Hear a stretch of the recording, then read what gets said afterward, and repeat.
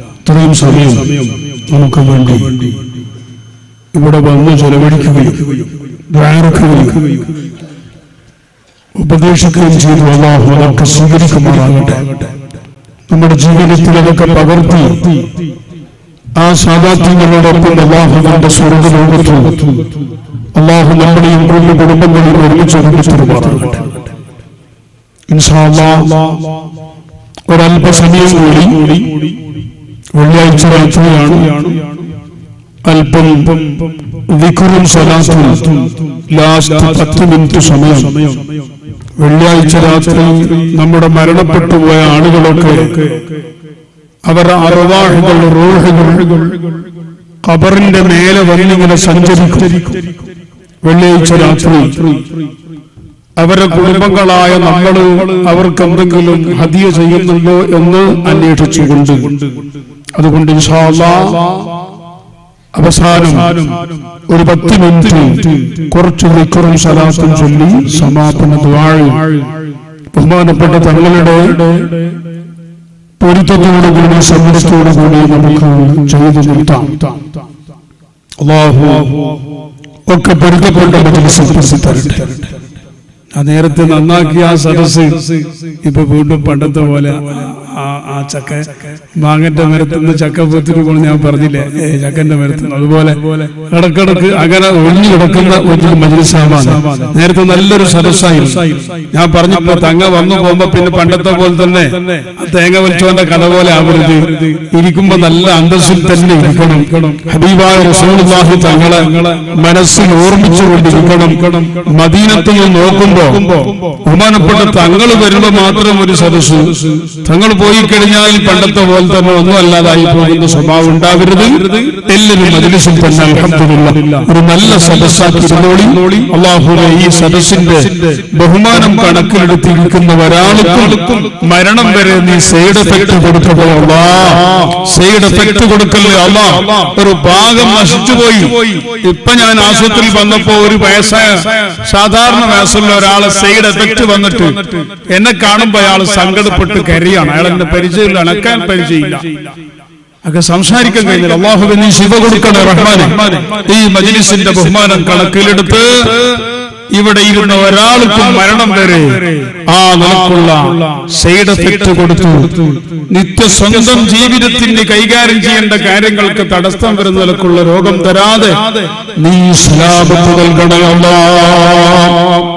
പ്രിയപ്പെട്ട സുഹൃത്തുക്കളെ ഞാൻ പറഞ്ഞു വന്നത് കാലം എത്ര പുതുതായിട്ട് മാറി വരുമ്പോഴും ന്യൂ ജനറേഷൻ ആയാലും പക്ഷേ അള്ളാഹുവിന്റെ പരിശുദ്ധ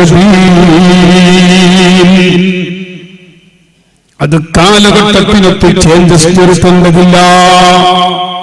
ഞാൻ പറഞ്ഞല്ലോ അറാക്കിന്റെ മിസ്വാക്ക് കൊണ്ട് അറാക്ക് കൊണ്ട് പല്ല് തുടക്കാൻ പറഞ്ഞു അഥവാ നിസ്കരിക്കുന്ന സമയത്തും ആ മിസ്വാക്കൊന്ന് ഇങ്ങനെ വയലേക്ക് വരച്ചിട്ട് കീശയിലിട്ടിട്ട് എല്ലാ സമയത്തും അറാക്ക് കൊണ്ട് തുടക്കാൻ പറഞ്ഞു. അറാക്ക് കൊണ്ട് തുടച്ച ആ മിസ്വാക്കിനെ കഴുകാണ്ട് നമ്മൾ കീശയിലിടുന്നു. ഇത് പലരും ആദ്യ കാലഘട്ടത്തിൽ പരിഹസിച്ചു. ന്യൂ ജനറേഷൻ വരുമ്പോൾ ലോകത്ത് വൈദ്യശാസ്ത്ര പണ്ഡിതന്മാർ അതിനെപ്പറ്റി ഗവേഷണം നടത്തി വലിയ വലിയ ലാബുകളിൽ കൊണ്ടുപോയി. അതിനെ അവർ പരിശോധന നടത്തിയപ്പോൾ അറാക്കിന്ന് അറാക്ക് ഒരല്പം പശർമ അറാക്കിന്റെ ആ മരത്തിന്റെ കോൽ അതിന്റെ അല്പം പശർമ ഒരു മനുഷ്യന്റെ വായിലേക്ക് തട്ടിയാൽ ഇരുപതോളം ഔഷധങ്ങൾ ഇരുപതോളം വലിയ വലിയ രോഗങ്ങൾക്കുള്ള മരുന്ന് ആ അറാക്കിന്റെ കഷ്ണം നനഞ്ഞിട്ട് വായിലേക്ക് തട്ടിയാൽ അതിലുണ്ടെന്ന് ന്യൂ ജനറേഷനിൽ ജീവിക്കുന്ന ഡോക്ടർമാർ കണ്ടുപിടിച്ചു. സുബ്ഹാനല്ലാ. ഇപ്പോൾ നിങ്ങൾ കണ്ടില്ലേ മിസ്വാക്ക് എന്ന് പറഞ്ഞിട്ട് ഒരു പേസ്റ്റ് ഉണ്ട് ആ പേസ്റ്റ് ഇവിടെ ഉണ്ടാക്കുന്നത് ഈ അറാക്ക് മരത്തിൽ നിന്നിട്ടാണ്. ഇതിന് ഞാൻ പറഞ്ഞത് ലോകം ഏത് ജനറേഷൻ ഇവിടെ വന്നാലും ഹബീബായ മുഹമ്മദ് റസൂലുള്ളാഹി തങ്ങൾ അന്ന് പഠിപ്പിച്ച പരിശുദ്ധ ഇസ്ലാം ഇസ്ലാമിന്റെ നിയമവ്യവസ്ഥകൾ ഈ ലോകത്തിൽ എന്നും എന്നും അതിന് പ്രസക്തിയുണ്ട്.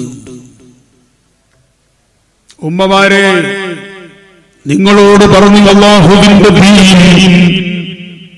എല്ലാ സ്വാതന്ത്ര്യങ്ങളും അവകാശങ്ങളും മഹത്വങ്ങളും ഉമ്മമാരെ പെൺമക്കളെ നിങ്ങൾക്ക് അള്ളാഹു തന്നില്ലേ? എന്തേ തരാത്തരെല്ലാം തന്നു. ഞാൻ ആ ഭാഗം വിശദീകരിക്കുന്നില്ല.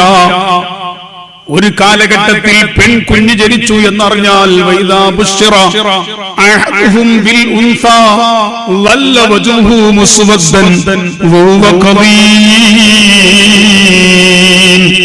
തന്റെ ഭാര്യ പ്രസവിച്ചത് പെൺകുഞ്ഞാണെന്ന് ഒരു ഭർത്താവിനിക്ക് വിവരം സന്തോഷം കിട്ടിയാൽ ആ സന്തോഷത്തിന്റെ പേരിൽ അവൻ സന്തോഷിക്കുകയല്ല. നല്ല. തന്റെ ഭാര്യ പെൺകുഞ്ഞിനെ പ്രസവിച്ചു എന്നറിയുമ്പോൾ തന്റെ ആ കുഞ്ഞിന്റെ ഉപ്പയുടെ മുഖം കറുത്തു വരണ്ടുപോയി ദേഷ്യത്തെ അവനിങ്ങനെ ഉള്ളിൽ ഒതുക്കി ഒതുക്കി വെക്കുകയാണ്. ആര് പറയുന്നു വിശുദ്ധ ഖുർആൻ? മറ്റൊരു തീർത്ത് പറഞ്ഞു എന്തേ ജീവനോടുകൂടി ആ പെൺകുഞ്ഞുങ്ങളെ നിങ്ങൾ എന്തിനു കുഴിച്ചുമൂടിയെന്ന് നിങ്ങളോട് ചോദിക്കപ്പെടാനുണ്ട് എന്ന് വിശുദ്ധ ഖുർആൻ പറഞ്ഞപ്പോൾ നിങ്ങൾ മനസ്സിലാക്കണം ഒരു പെൺകുഞ്ഞിന് ലോകത്ത് ജീവിക്കാൻ അവകാശമില്ലാത്തൊരു കാലഘട്ടത്തിലല്ലേ? പരിശുദ്ധ ഇസ്ലാം വന്നുകൊണ്ട് ഉമ്മമാരെ നിങ്ങൾക്ക് ജീവിക്കാൻ അവകാശം തന്നു എന്ന് മാത്രം അല്ല എന്റെ ഭാര്യ ജനിക്കുന്ന കുഞ്ഞ് അത് പെൺകുഞ്ഞാവരുത് എന്ന് കഴപത്തിന്റെ കില്ല പിടിച്ചുകൊണ്ട് ജാഹിലിയായ കാലഘട്ടത്തിൽ അറേബ്യൻ സമൂഹം താർപ്പിച്ചിരുന്നു പക്ഷേ മുത്തുനബി സല്ലല്ലാഹു അലൈഹി വസല്ലം പരിശുദ്ധ ഇസ്ലാമിന്റെ പ്രചരണം അങ്ങ് നടത്തിയപ്പോൾ അല്ലാഹുവിന്റെ റസൂൽ അവരോട് പറഞ്ഞു പറഞ്ഞു നിങ്ങൾക്കാർക്കെങ്കിലും ഒരാൾക്ക് നാല് പെൺമക്കൾ ഉണ്ടായി ആ പെൺമക്കളെ അവൻ സംരക്ഷിച്ചു പോറ്റി വളർത്തി പ്രായപൂർത്തിയാകുമ്പോൾ ഒരു പുതിയ ആപ്പിളന്റെ കയ്യിൽ കെട്ടിച്ചു കൊടുത്താൽ ആ ഒരൊറ്റ കാരണം കൊണ്ട് ആ ഉമ്മയും വാപ്പയും സ്വർഗത്തിൽ കടന്നുപോയി.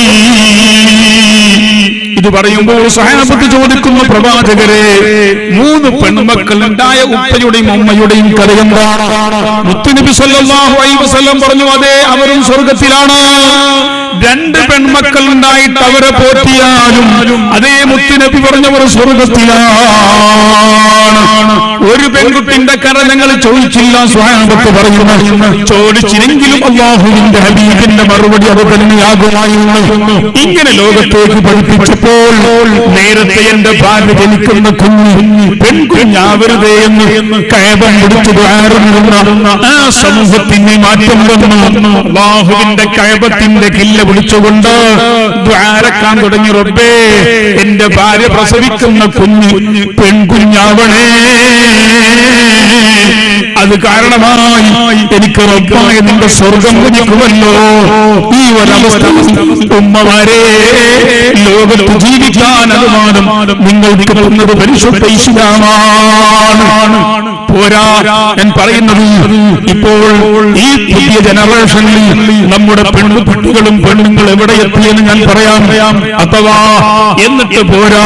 ഒരു വാപ്പ മരിച്ചു കോടീശ്വരനായ വാപ്പ മരിച്ചാൽ ഉപ്പ മരണപ്പെട്ടാൽ അല്ലെങ്കിൽ മരണം ഭർത്താവ് മരണപ്പെട്ടാൽ ആ ഉപ്പയുടെ മകൾക്ക് സ്വത്തില്ല. ഭർത്താവിന്റെ സ്വത്തിൽ ഭാര്യക്ക് അവകാശമില്ല. അഥവാ പെണ്ണായതിന്റെ പേരിൽ ഒരു നയ പൈസ വരെ ഒരു ചിന്തിക്കാശ് വരെ പെൺമക്കൾക്ക് ലഭിക്കില്ല. ഇതാണ് പരിശുദ്ധ ഇസ്ലാമിന് മുമ്പ് ലോകത്ത് നടന്നിരുന്നത് ഉമ്മമാരെ അള്ളാഹുവിന്റെ ദീൻ വന്നിട്ട് ലോകത്ത് പഠിപ്പിക്കുന്നു. മുത്തുനബി സല്ലല്ലാഹു അലൈഹി വസല്ലം പഠിപ്പിക്കുന്നു.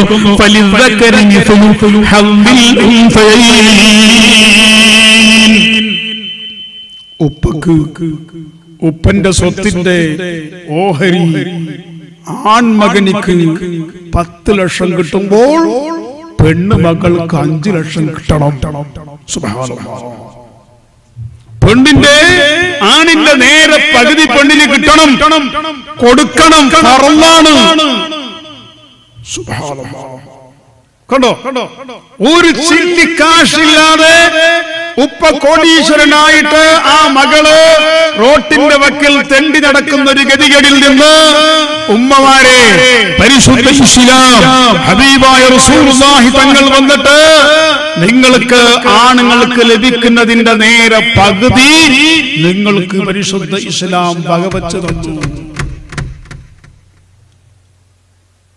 അപ്പൊ ചിലപ്പോൾ തോന്നും ആ മകനിക്ക് പത്ത് ലക്ഷം കിട്ടുമ്പോ മകൾക്കും പത്ത് ലക്ഷം കിട്ടണ്ടേ? സമം സമ ആവണ്ടേ ഫിഫ്റ്റി ഫിഫ്റ്റി ആവണ്ടേ?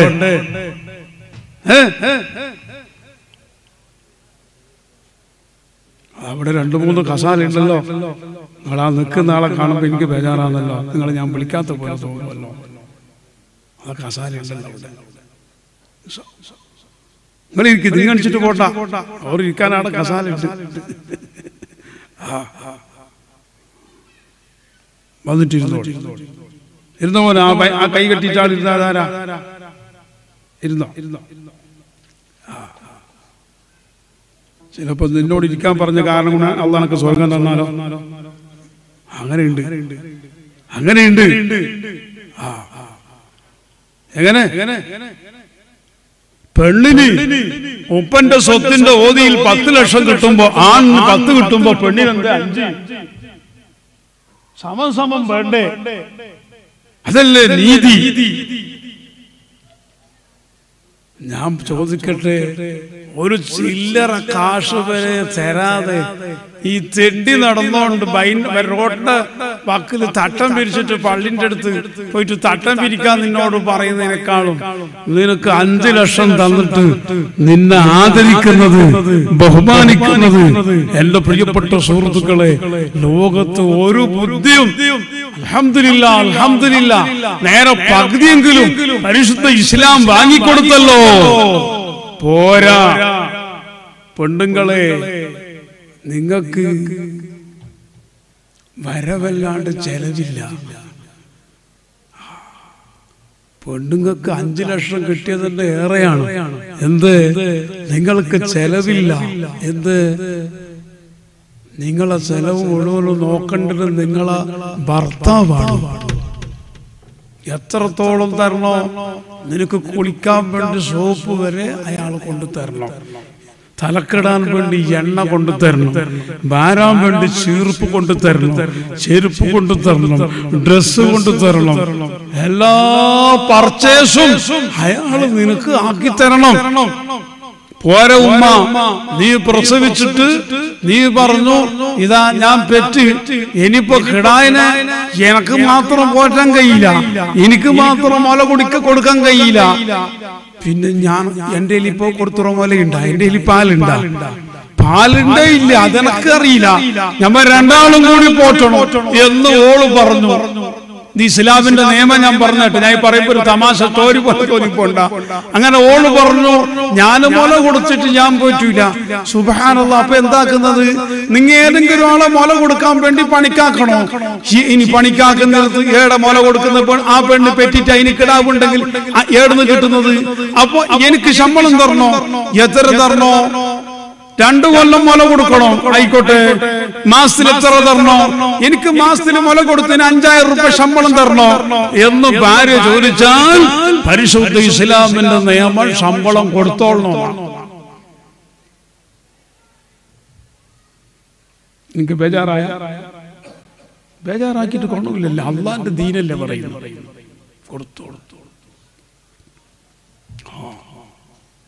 അല്ല ഉസ്താദ് ഞങ്ങളെ ചെറുവായത്താരും ഇതുവരെ അങ്ങനെ ചെല്ലിയിട്ടില്ല ചെല്ലാത്തത് നിങ്ങൾ എന്നെ ചെയ്യും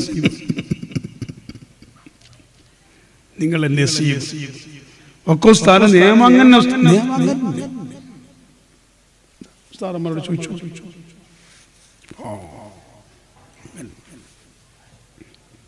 കിടായിനെ പോലെ കൊടുത്തിന് ശമ്പളം. കിടായിനെ പോലെ കൊടുത്തിന് ശമ്പളം. പോറ്റിയതിന് ശമ്പളം.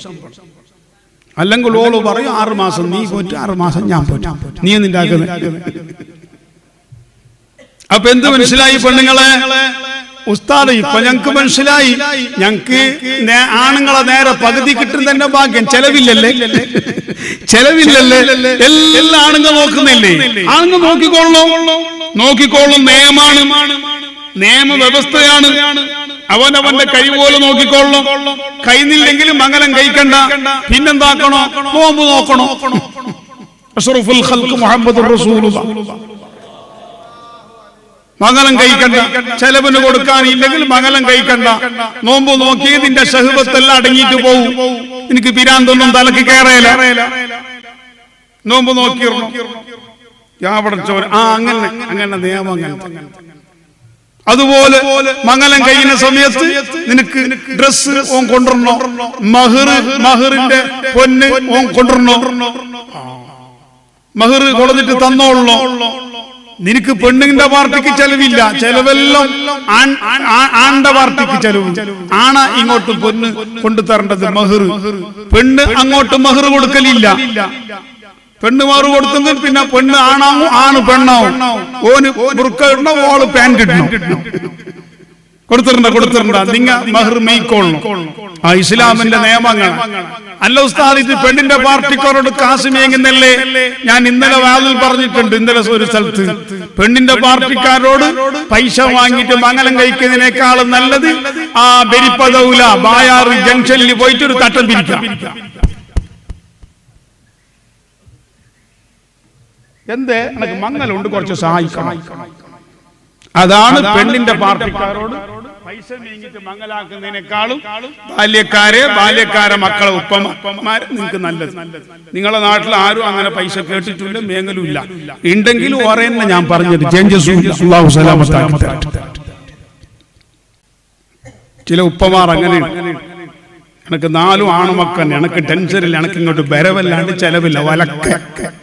നിനക്ക് ചെലവുണ്ട്. കാരണം നിന്റെ മോനും മംഗലം കഴിക്കണമെങ്കിൽ മാന്യമായിട്ട് ആ പെണ്ണിന് മഹർ കൊടുത്തോളണം. ആ പെണ്ണിന് വസ്ത്രവും ഡ്രസ്സും കൊടുത്തോളണം. ചോറ് വേണമെങ്കിൽ കൊടുക്കില്ല കൊടുക്കണ്ട. വേറെ നിനക്ക് ചെലവ് ജാസ്തി ആണുമക്കാൾക്ക് പെണ്ണുമക്കാൾക്ക് ജാസ്തി. ഇനി പൊന്നു പൈസ പൊന്നു പൈസ എന്നിട്ട് ചോദിച്ചിട്ട് മേഘുന്നില്ലേ അത് മര്യാദ കെട്ടോന്റെ പണി. പണി. ആക്കിയിട്ട് ഗുണമില്ല ഞാൻ എടുക്കുന്ന പണി അങ്ങനത്തെ ഇത് ബേജാറാക്കിയിട്ട് എന്താക്കുന്നത് അപ്പൊ കൊടുത്തിട്ട് കൊടുത്തെങ്കിൽ ന്യൂ ജനറേഷനിൽ കൊടുത്ത്.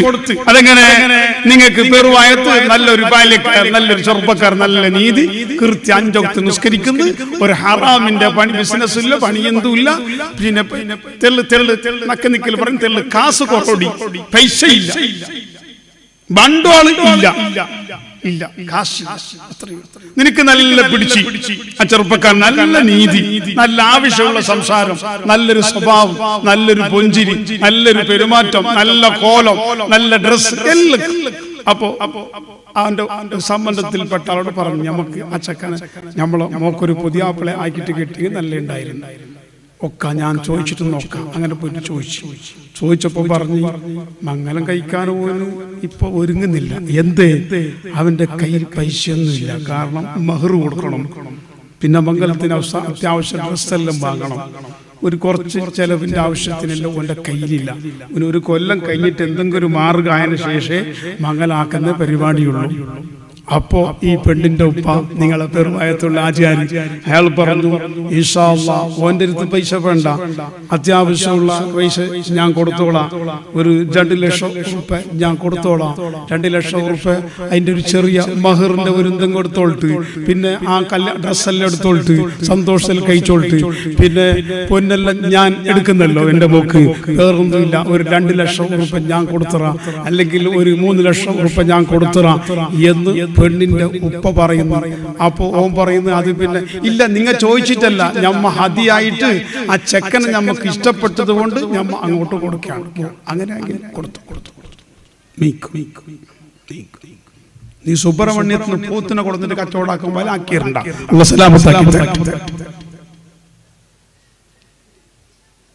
മനസ്സിലായി? ഏറെണ്ട് പോത്ത് ഏറെ- പോത്തുണ്ട്. കച്ചവടാക്കണമെങ്കിൽ. അങ്ങനെ ജഡാണ് മക്കളെ പിച്ചിട്ട് കച്ചവടാക്കുന്നത് നിങ്ങളെ നാട്ടിലതില്ലല്ലേ ഉണ്ടാ?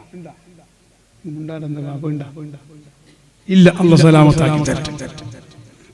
നിങ്ങ മേങ്ങിയിട്ട് ചോദിച്ചിട്ട് വാങ്ങിയില്ലെങ്കിൽ ചോദിച്ചിട്ട് വാങ്ങിയില്ലെങ്കിൽ അള്ളാഹുവിന്റെ ഹബീബായ മുഹമ്മദ് റസൂലുള്ള തങ്ങൾ പറയുന്ന നാളെ കിയാമത്ത് നാളിൽ ഒരു മനുഷ്യന്റെ രണ്ട് കാൽ അവനെ അങ്ങോട്ട് എടുത്തിട്ട് വെക്കണമെങ്കിൽ ഒരു നാല് വിഷയത്തെ പറ്റി അള്ളാന്റെ കോടതിയിൽ ചോദ്യം വരുന്നുണ്ട്. ആ നാല് ചോദ്യത്തിന് മറുപടി കൊടുത്തിട്ടല്ലാണ്ട് ഒരു അടിമക്കും കാൽ അങ്ങോട്ട് വെക്കാൻ പറ്റൂല നബി മുഹമ്മദ് മുസ്തഫ.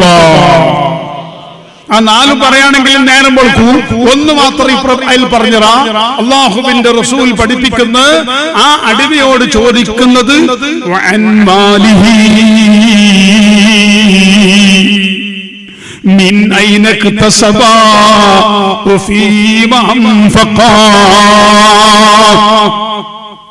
ഒരു ചോദ്യം അതാണ്. അവന്റെ മുതലിനെ പറ്റി ചോദിക്കും നിനക്ക് എവിടെ നിന്നാണ് പൈസ കിട്ടിയത്?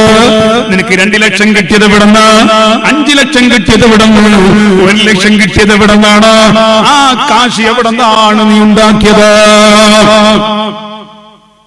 ഈ ചോദിച്ചതിനെ അള്ളാഹുവിന്റെ കോടതിയിൽ ഞാൻ ഒരു പെണ്ണിന്റെ പാർട്ടിയോട് എന്റെ മകൻ നിങ്ങളെ മോളെ കല്യാണാക്കണമെങ്കിൽ ഇത്ര പൈസ തരണമെന്ന് ഞാൻ ചോദിച്ചു വാങ്ങിയതാണ്.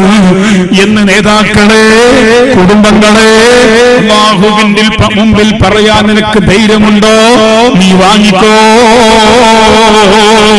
ഇല്ല ഉസ്താദേ അള്ളാന്റെ മുമ്പിൽ എനിക്ക് അങ്ങനെ പറയാൻ കഴിയില്ല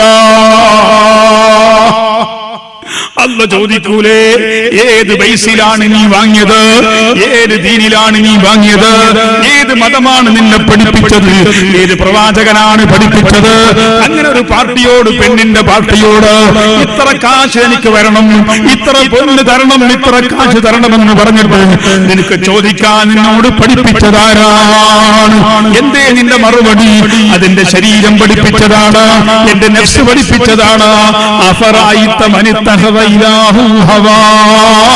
അല്ലാഹുവിന്റെ ഖുർആൻ പറയുന്ന ഒരു സ്ഥലത്ത് അവന്റെ ശരീരത്തിനെ അവന്റെ ദേഹച്ചനെ ഇലാഹാക്കിയവനെ പറ്റി തങ്ങൾ പറഞ്ഞു തരൂ നബിയെ അഥവാ അവന്റെ ശരീരം എന്താണോ പറയുന്നത് അവന്റെ തടി എന്താണോ പറയുന്നത് അവന്റെ ശൈത്താൻ എന്താണോ പറയുന്നത് അതിനെ ദീനാക്കി നിയമമാക്കി ഈ ലോകത്ത് ജീവിച്ചാൽ പടച്ചവത്തിന്റെ മുമ്പിൽ മറുപടി പറയാൻ കഴിയില്ല. എവിടെ നിന്നാണ് ആ കാശ് ഉണ്ടാക്കിയത്? ആ കാശിന്റെ മാർഗം എങ്ങനെ.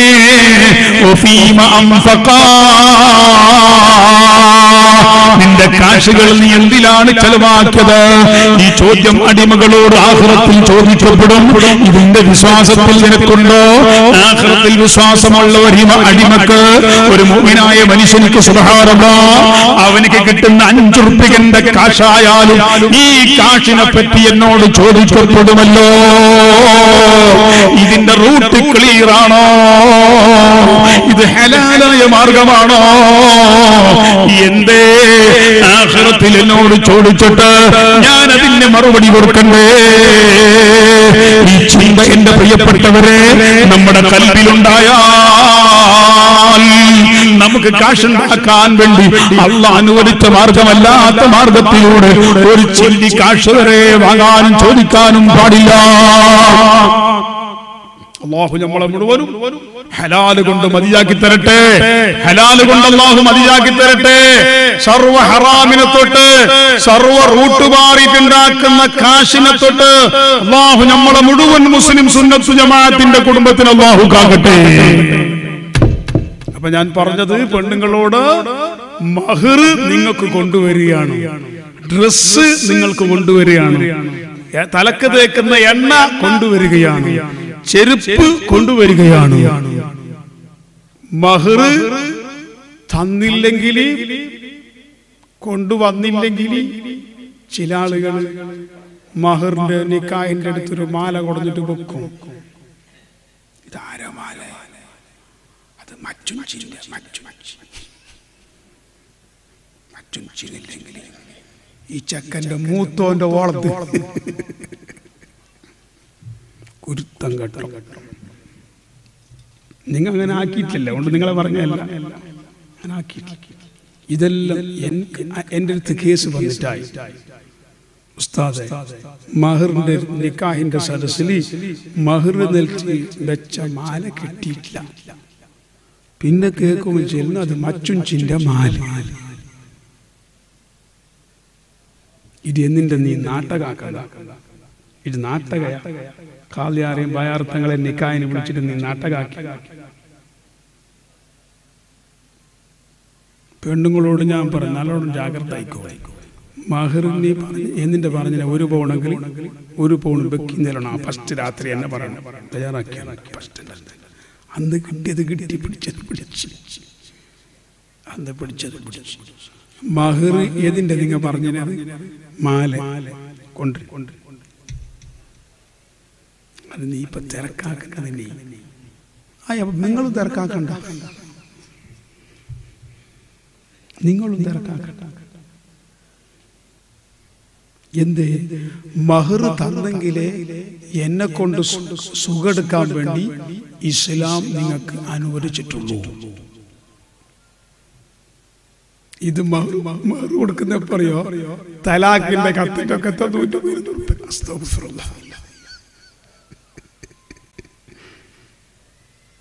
തലാഖിന്റെ കത്ത് കൊടുക്കുമ്പോ അതിന്റെ കത്ത് നൂറ്റഞ്ഞൂറ്റമ്പത് ഇത് നീ നീ ഡബിക്ക് കത്തിക്കാൻ നേർച്ച എന്ത് ഈ മുസ്ലിമുകൾ എന്ത് ഇങ്ങനെ പേര് എത്ര ബാൽ കേട്ട് എത്ര ഉറൂസ് എന്തെല്ലാം കേട്ടിട്ട് ഞമ്മ ഈ പണ്ടത്തിൽ തന്നെ നിങ്ങളെ നാട്ടിലുണ്ടാവൂലല്ലോ? അല്ല സലാമത്താക്കി തരട്ടെ മാന്യമായിട്ട് മഹർ വാങ്ങണം ഉമ്മമാര്. എതിന്റെ കേട്ടിരുന്ന ഒപ്പാണ് എതിന്റെ മഹർ വെച്ചിനാണ് നിക്കായിലാണ് നിങ്ങ എന്നെ കെട്ടിച്ചു കൊടുത്തില്ലേ? സബ്ബജിത്തുക്ക് വാൻകായത്തുക്ക് ബിന്തി ആയിഷത്ത് ബർസാന ബി മഹിരി ഇത്രയെന്ന് പറഞ്ഞില്ല? ആ ബി മഹിരി ഇതിന്റേത് എതിന്റെ എന്ന് കേട്ടു നാളെ ഇപ്പോഴത്തെ പെണ്ണുങ്ങ പെണ്ണുങ്ങൾ കേട്ടേന്നെ ബിട്രേലാവോ ഞങ്ങളെ സപ്പോർട്ട് യാറബ്ബ ഈ ഉസ്താദ് അത് പറഞ്ഞിട്ട് ഇനി മംഗലം കഴിക്കുന്ന ആളെ കഷ്ടം കഷ്ടം കുറച്ചാണെന്ന്. കുറച്ച് കഷ്ടം. പിന്നെ ഒരു സമയം ഓൾ പറഞ്ഞു അല്ല പിന്നെ മഹർ നിങ്ങൾ എന്ത് പറഞ്ഞിനി? മഹർ ഞാൻ ഒരു ഫോൺ പറഞ്ഞിനി അതിപ്പോ ഞാൻ റെഡിയാക്കുന്നുണ്ട്. ആ ആയിക്കോട്ടെ നിങ്ങ അത് സാരല്ല ഞാൻ പിന്നെ മെയ്ക്കോളം നിങ്ങൾ. എന്ന് പറഞ്ഞില്ലെങ്കിൽ മാത്രം പിന്നെ കിട്ടാതിരിക്കുമ്പോ കേസായിട്ട് കേസിനോട് ഉസ്താദിന്റെ അടുത്ത് വരണ്ട ജാഗ്രത ആയിക്കോട്ടെ ഫസ്റ്റ് ദിവസം മേയ്ക്കും. അന്ന് കിട്ടിയത്. ഇനി ഞാൻ തമാശ പറയുന്നല്ല കാര്യം ഒരു നിങ്ങൾക്ക് മനസ്സിലാകേണ്ട രൂപത്തിൽ പറഞ്ഞത് മാത്രം അപ്പൊ മഹർ അങ്ങോട്ട് കൊടുക്കണം ചെലവ് അങ്ങോട്ട് കൊടുക്കണം. അപ്പൊ പെണ്ണിന് കിട്ടിയ പൈസ ബാക്കി തന്നെ ബാക്കി ബാക്കി ബാക്കി തന്നെ ബാക്കി ബാക്കി ബാക്കി ബാക്കി. ഓളയിലിട്ട് പൊന്നും ബാക്കി മഹറിന്റെ മാലയും ബാക്കി എല്ലാം ബാക്കി ബാക്കി ബാക്കി ബാക്കി. ചില ചില പെണ്ണുങ്ങൾ മരിക്കുമ്പോൾ കാണുന്നില്ല? ആ ഉമ്മാന്റെ കഴുത്തിൽ അന്ന് മംഗലം കഴിയുമ്പോൾ ഉള്ളതെല്ലാം ഉണ്ട്. വേണമെങ്കിൽ ഒന്ന് കൂടിയല്ലാണ്ട് തൊട്ടിട്ടില്ല. ഒരു മര്യാദയുള്ള മര്യാദയുള്ള ഭർത്താവ് തൊടയില്ല. ഇത് മംഗലം കഴിഞ്ഞിട്ട് ഒരാഴ്ച കഴിയുമ്പോൾ ഒരു ഒരു ഒരു മുയരമേങ്ങി അതിനെ വിറ്റ്. രണ്ടു മാസം ഒരു- വളമേങ്ങി അതിനെ വിറ്റ്. ഒരു പായച്ചെരുപ്പ് വീട്ടിൽ കേട്ട് നല്ലത് നമ്മൾ സലാമത്താക്കി തരട്ടെ തരട്ടെ. നമ്മൾ എതിനെ അങ്ങനെ ആക്കണം അങ്ങനെ ആക്കണം? ആക്കണം? ഞമ്മ ആദ്യം തന്നെ പണിക്കുന്ന പോലെ നിർത്തി. എന്തിന്? ഈ പൊന്നുണ്ടല്ലോ ഓളയിൽ പൊന്നുണ്ടല്ലേ? പിന്നെ നമ്മളെ നിയത്തിനനുസരിച്ച് അല്ല വർക്കത്താക്കാം നിന്റെ നീയത്തന്നെ ഈ പൊന്നുണ്ടല്ലേ? ഇത് വീട്ടിലാവരത്തോളം കലാശ. പിന്നെ ഇതെല്ലാം ഞാൻ വെറുതെ പറയുന്നില്ല ഒരു ഈ നിലയ്ക്ക് പറയുന്നു ഇതെല്ലാം അനുഭവത്തിൽ പറയുന്നു. ഞമ്മ ഞമ്മ ആദ്യം തന്നെ നീയത്ത് വെക്കണം. എന്റെ ഭാര്യന്റെ ഒരു സ്വർണത്തിന്റെ മാലെടുത്തിട്ട് അല്ലാ എനക്ക് ജീവിക്കുന്ന നീ എത്തിച്ചിട്ടുണ്ടാവുക എനിക്ക് മരുന്നിന് പോകാനും എനിക്ക് ഓൾ പ്രസംഗിച്ചെങ്കിൽ ചെലവാക്കാനും എല്ലാത്തിനും റബ്ബായ നീ എനക്ക് തരണോ അല്ല അതിനുള്ള ആഫിയത്ത് എനക്ക് തരണോ അല്ല ഞാൻ അധ്വാനിച്ച് മെനക്കെട്ട് വെയിൽ കൊണ്ടിട്ട് മയ കൊണ്ടിട്ട് ഞാൻ അത് ചെയ്തു തീർക്കാനുള്ള തൗഫീഖും ആയുസ്സും സമ്പത്തും എനിക്ക് തരണ അല്ല ആ പെണ്ണിന്റെ ഭാഗത്ത് ഒരു സാധനം എടുത്തു വിറ്റിട്ട് എന്നെ ജീവിപ്പിക്കേണ്ട അള്ളാ എന്ന് ദ്വാരന്നോ മുമിനിങ്ങളെ അള്ളാഹു നിങ്ങൾക്ക് എത്തിച്ചു തരും. അള്ളാഹു നിങ്ങളെ ഇസ്സത്തിലാക്കും. അള്ളാഹു നിങ്ങളെ ഐശ്വര്യത്തിലാക്കും. യാതൊരു സംശയം അതിൽ വേണ്ടേ വേണ്ട. അതാണ്. അതാണ്. അതാണ്. ഒരു കുടുംബത്തിന്റെ മാന്യത ഇസ്സത്ത് അതാണ്. നിനക്ക് പറയാം എന്ത് നീ അധികം സംസാരിക്കുന്ന എന്നോട്? നിന്റെ നീ മംഗലം കഴിച്ചിട്ട് വരുമ്പോ നിന്റെ അടുത്ത് ഉള്ളത് എല്ലാം അങ്ങനെ ഉണ്ട് എന്ന് മാത്രമല്ല ഒന്ന് രണ്ട് കല്യാണം കഴിയുമ്പോ നിന്റെ ആ ചെറിയ മാലിനെടുത്തിട്ട് ബെൽതാക്കം പറഞ്ഞിട്ട് ബെൽറ്റാക്കിനല്ലാതെ നിന്റെ അടുത്തുനിന്ന് എന്തെങ്കിലും ഒരു ഗ്രാംസ് ഞാൻ എടുത്തിന? അല്ല ഞാൻ നിനക്ക് കിട്ടിട്ട് തന്നിനാ? എന്ന് രണ്ട് ചോദ്യം ചോദിക്കുമ്പോ ഓൾ പോയി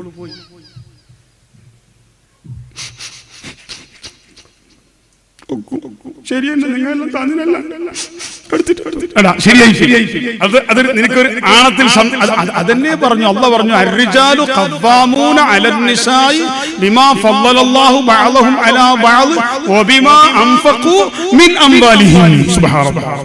നിന്റെ മുതലിനെ എടുത്തിട്ട് നീ ചെലവാക്കിയത് കൊണ്ട് നീ പുരുഷൻ പുരുഷനായ ആണായ നിങ്ങൾ ആ ഭാര്യന്മാരെ കൈകാര്യം ചെയ്യാനും നിയന്ത്രിക്കാനും എല്ലാം അധികാരം നിനക്ക് തന്നെ അല്ല പറഞ്ഞു. അംവാലിഹിം. ആലിമികളും ഉണ്ട് അങ്ങനെ. ഇത് നീ ചെലവാക്കണം നിന്റെ പൈസ എങ്കിലാണ് നിനക്ക്. അല്ലാഹു നമ്മളെ കാക്കട്ടെ. അല്ലാഹു നമ്മളെ മക്കളാ ഐശ്വര്യ- ഐശ്വര്യത്തിലാക്കട്ടെ. പെണ്ണിന്റെ പാർട്ടിക്കാരോടും പെണ്ണിന്റെയും ചെലവിന് വാങ്ങിയിട്ട് ജീവിക്കേണ്ട ഗതികേട് അല്ല നമുക്ക് തരാണ്ടിരിക്കട്ടെ. പെണ്ണുങ്ങൾക്ക് നല്ലോണം ചൊടി വരും. അപ്പൊ അത്രയും ഒരു താണ പണിയാ ഞങ്ങളത്. അത്രയും അവർ ചോദിക്കും. അങ്ങനെ അങ്ങനെ ഉമ്മമാർ നിങ്ങൾ ബേജാറാക്കിയോ ബേജാറാക്കിയിട്ട് ഗുണമില്ല നിങ്ങളെ പൈസ നിങ്ങളെ പൊന്നി വിറ്റിട്ട് ഞങ്ങൾക്ക് ഞങ്ങൾക്ക് ജീവിക്കുന്ന ഗതികൾ അല്ല തരാണ്ടിരിക്കട്ടെ. നിങ്ങൾ ദ്വാരക്ക് വേണ്ട വേണ്ട വേണ്ട. അപ്പൊ അവിടെയും ഇനി ഉമ്മമാരോട് ഞാൻ പറഞ്ഞ ഒറ്റ കാര്യം കൂടി പറയട്ടെ. അല്ലാഹുവിന്റെ റസൂൽ സല്ലല്ലാഹു അലൈഹി വസല്ലം തങ്ങൾ പരിശുദ്ധ ഇസ്ലാമുമായി ലോകത്തിൽ കടന്നു വരുമ്പോൾ അന്നൊരൊറ്റ പെണ്ണും ഹൈദിരക്തമുണ്ടായാൽ പെണ്ണിന്റെ മാസക്കുളി ഉണ്ടായാൽ ആ പെണ്ണ് വീട്ടിന്റെ ഉള്ളിൽ താമസിക്കാൻ പാടില്ല. ആ പെണ്ണ് പുറത്താണ്. തങ്ങൾ പരിശുദ്ധ ഇസ്ലാമിന്റെ പ്രചരണമായി വരുന്ന ആ കാലഘട്ടത്തിൽ അറേബ്യൻ ലോകത്ത് ലോകത്ത് മുഴുവനുമുള്ള ജനങ്ങളെ സ്ഥിതി അതാണ്. ഭാര്യക്ക് അയൽ രക്തമുണ്ടായാൽ അന്ന് മുതൽ ആ പെണ്ണ് വീട്ടിന്റെ പുറത്താണ്. പ്രസവിക്കപ്പെട്ട പെണ്ണും പുറത്താണ്. അവൾ വീട്ടിന്റെ ഉള്ളിലേക്ക് വരാൻ പാടില്ല. മാസക്കളിയുണ്ടായ പെണ്ണ് പുറത്താണ്. നായിനെ കെട്ടുന്ന ഷെഡിലോ ആലയിലോ. പശുവിനെ കെട്ടുന്ന ഒട്ടകത്തിനെ കെട്ടുന്ന ഒട്ടന ഒട്ടനെ കെട്ടുന്ന ഷെഡിലോ. അല്ലെങ്കിൽ നായിനെ കെട്ടുന്ന ഷെഡിലോ. ഈ പെണ്ണ് ഹൈലു ശുദ്ധിയാകുന്നത് വരെ വീട്ടിന്റെ പുറത്താണ്. പരിശുദ്ധ ഇസ്ലാം പരിശുദ്ധ ദീനിന്റെ ആ, വലിയ ആശയം പഠിപ്പിച്ചു കൊടുക്കുന്നു എന്ത്? ഒരിക്കലും ഹൈദ് രക്തമുണ്ടായ പെണ്ണിന് നിഫാസ രക്തമുണ്ടായ പെണ്ണിന് വീട്ടിൽ നിന്ന് പുറത്താക്കാൻ പാടില്ല. അവൾ മാന്യമായി വീട്ടിന്റെ ഉള്ളിൽ തന്നെ താമസിക്കണം. പോരാ. വീട്ടിന്റെ ഉള്ളിൽ അവൾ കിച്ചണിൽ കിച്ചന്റെ റൂമിൽ താമസിക്കണോ അല്ല? ഡൈനിങ് ഹാളിൽ താമസിക്കും അല്ല? വേറെ ഒരു ബെഡ്റൂമിൽ താമസിക്കണോ അല്ല? ഇസ്ലാം പഠിപ്പിച്ചു. എന്ത് പഠിപ്പിച്ചു? ഭർത്താവായ നീ കിടക്കുന്ന നിന്റെ ബെഡ്റൂമില്ലേ ആ ബെഡ്റൂമിൽ നിന്റെ കൂടെ തന്നെ താമസിക്കാം. ആർക്ക്? മാസക്കുളി ഉണ്ടായ രക്തമുണ്ടായ പെണ്ണിനിക്ക്. എവിടെയായിരുന്നു ആ പെണ്ണ്? ഇസ്ലാമിന്റെ മുമ്പ് എവിടെയായിരുന്നു? ആ പെണ്ണ് വീട്ടിന്റെ പുറത്തായിരുന്നു. നായിന്റെ ഷെഡിലോ ആട്ടിന്റെ കൂട്ടിലോ ആയിരുന്നു. ആ പെണ്ണിനെയാണ് തന്റെ ഭർത്താവ് കിടക്കുന്ന ബെഡ്റൂമിലേക്ക് കൊണ്ടുവരുന്നത്. എന്നിട്ട് ഭർത്താവ് ബെഡിൽ കിടക്കുമ്പോ പെണ്ണ് താഴെ കിടക്കണോ വേണ്ട? പിന്നെയോ ആ ഭർത്താവിന്റെ അതേ കട്ടിൽ അതേ നല്ല വിരിപ്പിൽ ആ കിടക്കയിൽ ഭർത്താവിന്റെ കൂടെ തന്നെ കിടക്കാം. എന്നിട്ടോ ആ പെണ്ണിന്റെ ശരീരം തൊടാൻ പറ്റോ തൊടാം. ആ പെണ്ണിന്റെ മുട്ടുപൊക്കിളിന്റെ ഇട ഒഴിച്ചിട്ട് ബാക്കിയുള്ള സ്ഥലങ്ങൾ തൊടാം. ഭാര്യക്കും ഭർത്താവിനും മുഖങ്ങൾ തമ്മിൽ ബന്ധപ്പെടുത്തിയിട്ട് അങ്ങോട്ടും ഇങ്ങോട്ടും ചുംബനം നടത്തിയിട്ട് അവർക്ക് കിടന്നുറങ്ങാ. അവളെ ശരീരത്തിൽ മുട്ടുകൊട്ടുകളുടെ ഇടയിലുള്ള സ്ഥലം ഒഴിച്ചിട്ട് ബാക്കിയുള്ള സ്ഥലത്തൊക്കെ സന്തോഷിക്കാം. അനുവദീനമാണ്. ഞാൻ പറയട്ടെ ഉമ്മമാരോട് ഇസ്ലാമല്ലേ നിന്നെ ബെഡ്റൂമിലേക്ക് കൊണ്ടുവന്നത്? ഇസ്ലാമല്ലേ നിന്റെ ഭർത്താവിന്റെ കൂടെ കിടക്കാൻ അനുവദിച്ചത്? നീ എവിടെ ആയിരുന്നു പെണ്ണേ? വീട്ടിന്റെ പുറത്ത് ആട്ടിന്റെ ഷെഡിലോ നായിന്റെ കൂട്ടിലോ ആയിരുന്നില്ലേ? ഞാൻ ചോദിക്കട്ടെ? സ്വത്തവകാശം വാങ്ങി തന്നോ അയലുള്ള പെണ്ണിനിക്ക് വരെ വീട്ടിൽ ഭർത്താവിന്റെ കൂടെ ഉറങ്ങാൻ അവസരം വാങ്ങി പോരാ ജീവിക്കാൻ അനുവാ അവസരമുണ്ടാക്കി തന്നു. എന്നിട്ട് ഇതെല്ലാം പഠിപ്പിച്ചു അള്ളാഹു താര ഇത്രയും മഹത്വങ്ങളും കാര്യങ്ങളും നിനക്ക് തന്നു. നിന്റെ ചെലവിടുവനും ഭർത്താവ് നോക്കണം. നിന്റെ സംരക്ഷണം അവന്റെ കയ്യിലാണ്. എല്ലാം നിനക്ക് തന്നിട്ട് ഒരു പൊന്നുപോലെ ഒരു മുരുതുപോലെ പെണ്ണിനെ അള്ളാഹു താല ആദരിച്ച് വലിയ മഹത്വം നൽകി. എന്നിട്ട് ഈ പെണ്ണിനോട് അല്ല പറഞ്ഞു കർമ്മ ഫീ ബുയൂത്തിക്കുന്നാ. ന്യൂ ജനറേഷന്റെ പേര് പറഞ്ഞിട്ട് പെണ്ണേ നീ വീട്ടിൽ നിന്ന് പുറത്തിറങ്ങാ. സകല കല്യാണത്തിന്റെ വീട്ടിൽ സകല കല്യാണത്തിന്റെ ഹാളിൽ സകല ബജാറിലും ടൗണുകളിലും ഫാൻസി കടയിലും സ്വർണ കടയിലും സകല സകല സ്ഥലത്തും സകല പഞ്ചായത്തിലും സകല പാർലമെന്റിലും സകല അസംബ്ലിയിലും സകല സകല സ്ഥലത്തോ. പെണ്ണെ നീ എത്തിപ്പെടേണ്ടവളല്ല. പിന്നെ കർമ്മ പെണ്ണുങ്ങൾ അവളെ വീട്ടിന്റെ അകത്ത് അവൾ ഒതുങ്ങി അടങ്ങി താമസിക്കണം. അവൾ കടയെങ്കൽ പോലെ റോട്ടിന്റെ വക്കിലുള്ള ഇലക്ട്രിക്കിന്റെ പോസ്റ്റ് പോലെ ലോകത്ത് റോട്ടിന്റെ വക്കിൽ അറിയപ്പെടേണ്ടവളല്ല. ജ്വല്ലറി കടയിൽ സൂക്ഷിച്ചു വെച്ച സ്വർണമില്ലേ? അതുപോലെ വീട്ടിന്റെ ഉള്ളിന്റെ ഉള്ളിലാണ് ആ പെണ്ണായ പൊന്നിനെ സൂക്ഷിക്കേണ്ടത്. അവിടെ അരീബായ മുഹമ്മദ് റസൂലുള്ളാഹി പറഞ്ഞു പെണ്ണെ നീ നിസ്കരിക്കുകയാണെങ്കിൽ നിന്റെ വീട്ടിന്റെ ഉള്ളിന്റെ ഉള്ളിലുള്ള റൂമ്. അഥവാ നിനക്ക് മാത്രം സ്വന്തമായിട്ടുള്ള ഒരു ബെഡ്റൂം ഇല്ലേ നിന്റെ ഭർത്താവും നീയും മാത്രം താമസിക്കുന്ന വീട്. അവിടെ മറ്റൂനന്മാർ വന്നൂടാ. പാപ്പളുടെ മാപ്പളുടെ മൂത്തോന് വരാൻ പാടില്ല. പാപ്പളുടെ അനിയം വരാൻ പാടില്ല. ആ ബെഡ്റൂമിലേക്ക് വേറെ ആരും വരണ്ട. നിന്റെ മാപ്പളുടെ ഉപ്പയും വരണ്ട. ആ വീട്ടിലേക്ക് ഉറങ്ങാൻ വരണ്ട. അവിടെ ഇരിക്കാൻ വരണ്ട. തമാശ പറയാൻ വരണ്ട. അതൊക്കെ അവർ പുറത്തു നിന്നോ ഇസ്ലാമിന്റെ നിയമമാണ് ഞാൻ പറയുന്നത്. അത്രയും നിനക്ക് മാത്രം അവകാശപ്പെട്ടത്. നിന്റെ ഭർത്താവിനും നിനക്ക് അവകാശപ്പെട്ട റൂമില്ലേ? ആ റൂമിലാണ് പെണ്ണെ നീ നിസ്കരിക്കേണ്ടത്. എന്റെ കാരണമെന്നറിയോ? നീ നിസ്കരിക്കുന്ന സമയത്ത് ഒരാൾ വന്നിട്ട് വീട്ടിന്റെ ഉള്ളിലേക്ക് കയറി. നിസ്കരിക്കുന്ന സമയത്ത് പെണ്ണ് മുഖം തുറക്കണം അവളെ മുങ്കൈ തുറക്കണം. മുഖം തുറന്നിട്ട് മുങ്കൈ തുറന്നിട്ടാണ് പെണ്ണ് നിസ്കരിക്കേണ്ടത്. അവൾക്ക് മുഖം മറക്കാൻ പാടില്ല. മുങ്കൈ മറക്കാൻ പാടില്ല. അജ്ജ് നേറാൻ സമയത്തും അങ്ങനെ തന്നെയാണല്ലോ. ഞാൻ പറയട്ടെ അങ്ങനെ മുഖവും മുങ്കയും തുറന്നിട്ട് പെണ്ണുങ്ങളായ നിങ്ങൾ നിക്കാര കുപ്പായിട്ടിട്ട് നിസ്കരിക്കുന്ന സമയത്ത് ബായാറിൽ നിട്ട് നിന്റെ ഭർത്താവിന്റെ ഒരു ചങ്ങായി നിന്റെ പുറത്ത് വന്നിട്ട് പെട്ടെന്ന് കയറുമ്പോ ഡൈനിങ് ഹാളിൽ അല്ലെങ്കിൽ കൊട്ടില്ലി അല്ലെങ്കിൽ വേറെ ഓഫീസ് റൂമിൽ നീ നിസ്കരിക്കുന്നെങ്കിൽ പെണ്ണ് പെട്ടെന്ന് ഈ വന്ന മനുഷ്യൻ ഡൈനിങ് ഹാളിലേക്ക് അല്ലെങ്കിൽ ഓഫീസ് റൂമിലേക്ക് വരുമ്പോ നിന്റെ മുഖം അവൻ കാണും. നിന്റെ മുങ്കയ്യവൻ കാണും. നിന്റെ മുഖത്തിന്റെ ഭംഗി കാണും. ഒരു പെണ്ണിന്റെ ശരീരത്തിലുള്ളത് ആകെ മുഖമാണ്. ഒരാണിന്റെ ശരീരത്തിലുള്ളത് മുഖമാണ്. ആ മുഖം എന്ന് പറയുന്ന ഭംഗിയുള്ള മുഖം മുഖം ആ മാറ്റാനായ ആണ് കാണും. നിന്റെ മുങ്കൈ കാണും. മുങ്കയും മുഖവും നോക്കലോടുകൂടി നിന്റെ ശരീരത്തെ പറ്റി എങ്ങനെ മനസ്സിലാക്കാൻ കഴിയും? അതുകൊണ്ടാണ് പരിശുദ്ധ ഇസ്ലാം മംഗലം കഴിക്കാൻ പോകുന്ന ബാല്യക്കാരോട് നീ ഒരു പെണ്ണിന്റെ നീ കെട്ടാൻ ഉദ്ദേശിക്കുന്ന പെണ്ണിന്റെ മുഖവും മുങ്കയും നോക്കിക്കോ. അതോടുകൂടി ആ പെണ്ണെ പറ്റി നിനക്ക് മനസ്സിലാക്കാൻ കഴിയും. കഴിയത്തല്ലേ പരിശുദ്ധ ഇസ്ലാം പഠിപ്പിച്ചത്? ആ മുഖവും മുഖയും മറ്റൊരു മാറ്റാനായാണ് കാണാൻ പാടില്ല. അതുകൊണ്ട് തന്നെ നിന്റെ സ്വന്തം ബെഡ്റൂമിൽ മറ്റൊരാളും കയറി വരാത്ത റൂമിന്റെ ഉള്ളിൽ വെച്ച് നിസ്കരിക്കാനാണ് പെണ്ണുങ്ങൾ. നിങ്ങളോട് റസൂൽ പറഞ്ഞത് പടച്ചുറപ്പ് നിന്നോട് പറഞ്ഞത് ഈ വീട്ടിന്റെ ഉള്ളിൽ ഒതുങ്ങി അടങ്ങി താമസിക്കേണ്ടവളാണ്. നീ വീട്ടിന്റെ പുറത്തിറങ്ങിയിട്ട് അപ്പുറത്തെ പുരക്കാരനോട് അവൻ മുസ്ലിം ആവട്ടെ മുസ്ലിം ആവട്ടെ നിന്റെ കിച്ചണിൽ നിന്നിട്ട് നീ സംസാരിക്കാൻ പാടില്ല. നീ ആ വീട്ടിലേക്ക് കടന്നു പോകാൻ പാടില്ല. നിങ്ങൾ കണ്ടില്ലേ രണ്ട് ദിവസം മുമ്പ് രണ്ട് ദിവസം മുമ്പ് മുപ്പത്തിരണ്ടോ മുപ്പത്തിനാല് വയസ്സുള്ളൊരു ഉമ്മ ആ ഉമ്മന്റെ മൂന്ന് പെൺ മൂന്ന് മക്കളെ തന്റെ വീട്ടിന്റെ ഉള്ളിൽ ഉറക്കിയിട്ട് തന്റെ ഭർത്താവ് ഗൾഫിലുണ്ട്. നല്ല വീട് കെട്ടിക്കൊടുത്തിട്ടുണ്ട് വീട്ടിന്റെ കത്തി എല്ലാ സംവിധാനങ്ങളുണ്ട്. വാഷിംഗ് മറ്റേ മിഷനുണ്ട് ഫ്രിഡ്ജുകളുണ്ട് എല്ലാ സൗകര്യങ്ങളുണ്ട്. മാസത്തിൽ ഭർത്താവ് നല്ലൊരു സംഖ്യ ചെലവിന് കൊടുക്കുന്നുണ്ട്. മക്കളെ ഇംഗ്ലീഷ് മീഡിയം സ്കൂളിൽ പഠിക്കുന്നുണ്ട്. എല്ലാ സൗകര്യങ്ങളും ആ ഭർത്താവ് അധ്വാനിച്ചുകൊണ്ട് ഗൾഫിൽ നിന്ന് പൈസ അയച്ചു കൊടുത്തുകൊണ്ട് അവൾക്ക് വേണ്ടുന്ന ഡ്രസ്സുകൾ ഫാൻസികൾ എല്ലാം കൊടുത്തുകൊണ്ടിരിക്കുന്ന ഭർത്താവ് അള്ളാഹുവിന്റെ റസൂലെന്ന് പഠിപ്പിച്ചു പരിശുദ്ധ ഖുർആൻ പഠിപ്പിച്ച് ആ ഭർത്താവ് തരുന്ന കാശുകൾ ചെലവഴിച്ചുകൊണ്ട് പെണ്ണ് നിന്റെ വീട്ടിന്റെ നിന്ന് ഒതുങ്ങിയിരുന്നോളും ന്യൂ ജനറേഷന്റെ പേരിൽ നീ പുറത്തിറങ്ങിയിട്ട് അപ്പുറത്തെ വീട്ടുകാരനോട് അപ്പുറത്തെ വീട്ടുകാരനെ ഫോൺ വിളിച്ചിട്ട് നീ സംസാരിക്കല്ല പെണ്ണെ? നീ കിച്ചന്റെ ഭാഗത്തിറങ്ങിയിട്ട് ആ ഭാഗത്ത് നോക്കരുത്.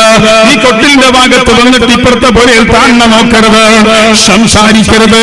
അവൻ നിന്റെ പുറത്ത് വന്ന് സംസാരിക്കരുത്. നീ അങ്ങോട്ട് പോയി സംസാരിക്കരുത്. ഒരിക്കലും പെണ്ണ് അങ്ങോട്ടും ഇങ്ങോട്ടും സംസാരിക്കാനുള്ള അവസരം ഉണ്ടാക്കരുത് എന്ന് പഠിപ്പിച്ചപ്പോ ന്യൂ ജനറേഷൻ പേര് പറഞ്ഞിട്ട് പെണ്ണതാ പുറത്തിറങ്ങി. ഇപ്പോഴെന്തായി? നിങ്ങൾ പത്രം വായിച്ചില്ലേ? എത്ര ന്യൂസുകളാണ് എത്ര റിപ്പോർട്ടുകളാണ്? ആ പെണ്ണിന്റെ പൊന്നു പോലോത്ത മക്കളെ ആൺകുഞ്ഞുങ്ങളെ പെൺകുട്ടികളെ വീട്ടിന്റെ ഉള്ളിൽ കിടത്തി ഉറങ്ങിയ ആ കുട്ടികളെ തൊട്ടടുത്ത വീട്ടിന്റെ ഏത് മതക്കാരനായാലും അവന്റെ കൂടെ ഈ പെണ്ണ് ഓടുന്നത് കാണാം. ഭർത്താവ് നാട്ടു നാട്ടു ഗൾഫിൽ നിന്ന് ഓടി വരികയാണ്. രണ്ട് പിഞ്ചു മക്കൾ മൂന്ന് മക്കൾ ഉപ്പന്റെ കൂടെ വന്നിട്ട് പറഞ്ഞു ഉപ്പ ഉമ്മനെ കാണുന്നില്ല. എവിടെ പോയി ഉമ്മന്റെ വീട്ടിലുണ്ടോ ഇല്ല? കുടുംബത്തിലുണ്ടോ ഇല്ല? നോക്കുമ്പോ തൊട്ടടുത്ത വീട്ടുകാരനായ ഒരു ഇരുപത്തിരണ്ട് വയസ്സ് ചെറുപ്പക്കാരൻ ഇരുപത്തിരണ്ട് വയസ്സുകാരന്റെ കൂടെ മുപ്പത്തിരണ്ട് മുപ്പത്തിനാല് വയസ്സുള്ള ഈ പെണ്ണ് ഓടിപ്പോയിട്ടുണ്ട്. എത്ര സംഭവങ്ങളാണ്? മക്കൾ വേണ്ട. പോറ്റി കഷ്ടപ്പെട്ട് പോറ്റി പെറ്റി പോറ്റിയ മക്കൾ വേണ്ട. തന്റെ ഭർത്താവ് വേണ്ട. ഇസ്ലാം വേണ്ട. ദീന് വേണ്ട. അല്ല വേണ്ട. റസൂലുള്ള വേണ്ട. കുടുംബം വേണ്ട. നാട് വേണ്ട. ഈ വരവസ്ഥക്ക് പെണ്ണ് നശിച്ചു പോകുമെന്ന് റബ്ബിനിക്ക് അറിയാ. പരിശുദ്ധ ദീനും പഠിപ്പിട്ട് മുത്തുനബി പഠിപ്പിട്ട് ഏത് ജനറേഷന്റെ പേര് പറഞ്ഞിട്ട് ഇന്റർനെറ്റിന്റെ പേര് പറഞ്ഞിട്ട് വാട്സപ്പിന്റെ പേര് പറഞ്ഞിട്ട് എന്ത് പേര് പറഞ്ഞിട്ടായാലും പെണ്ണെ ഉപയോഗിക്കുന്ന നിർബന്ധ ഘട്ടത്തിലല്ലാതെ പെണ്ണ് പുറത്തിറങ്ങരുതേ. മാറ്റാനായ ആണിനോട് സംസാരിക്കരുതേ. ഫോൺ നമ്പറുകൾ കൈമാറരുതേ. അയൽവാസിയാണ് എന്ന് പറഞ്ഞിട്ട് ഈ പ്ലാട്ടിൽ താമസിക്കുന്നുണ്ട് പ്ലാട്ട്.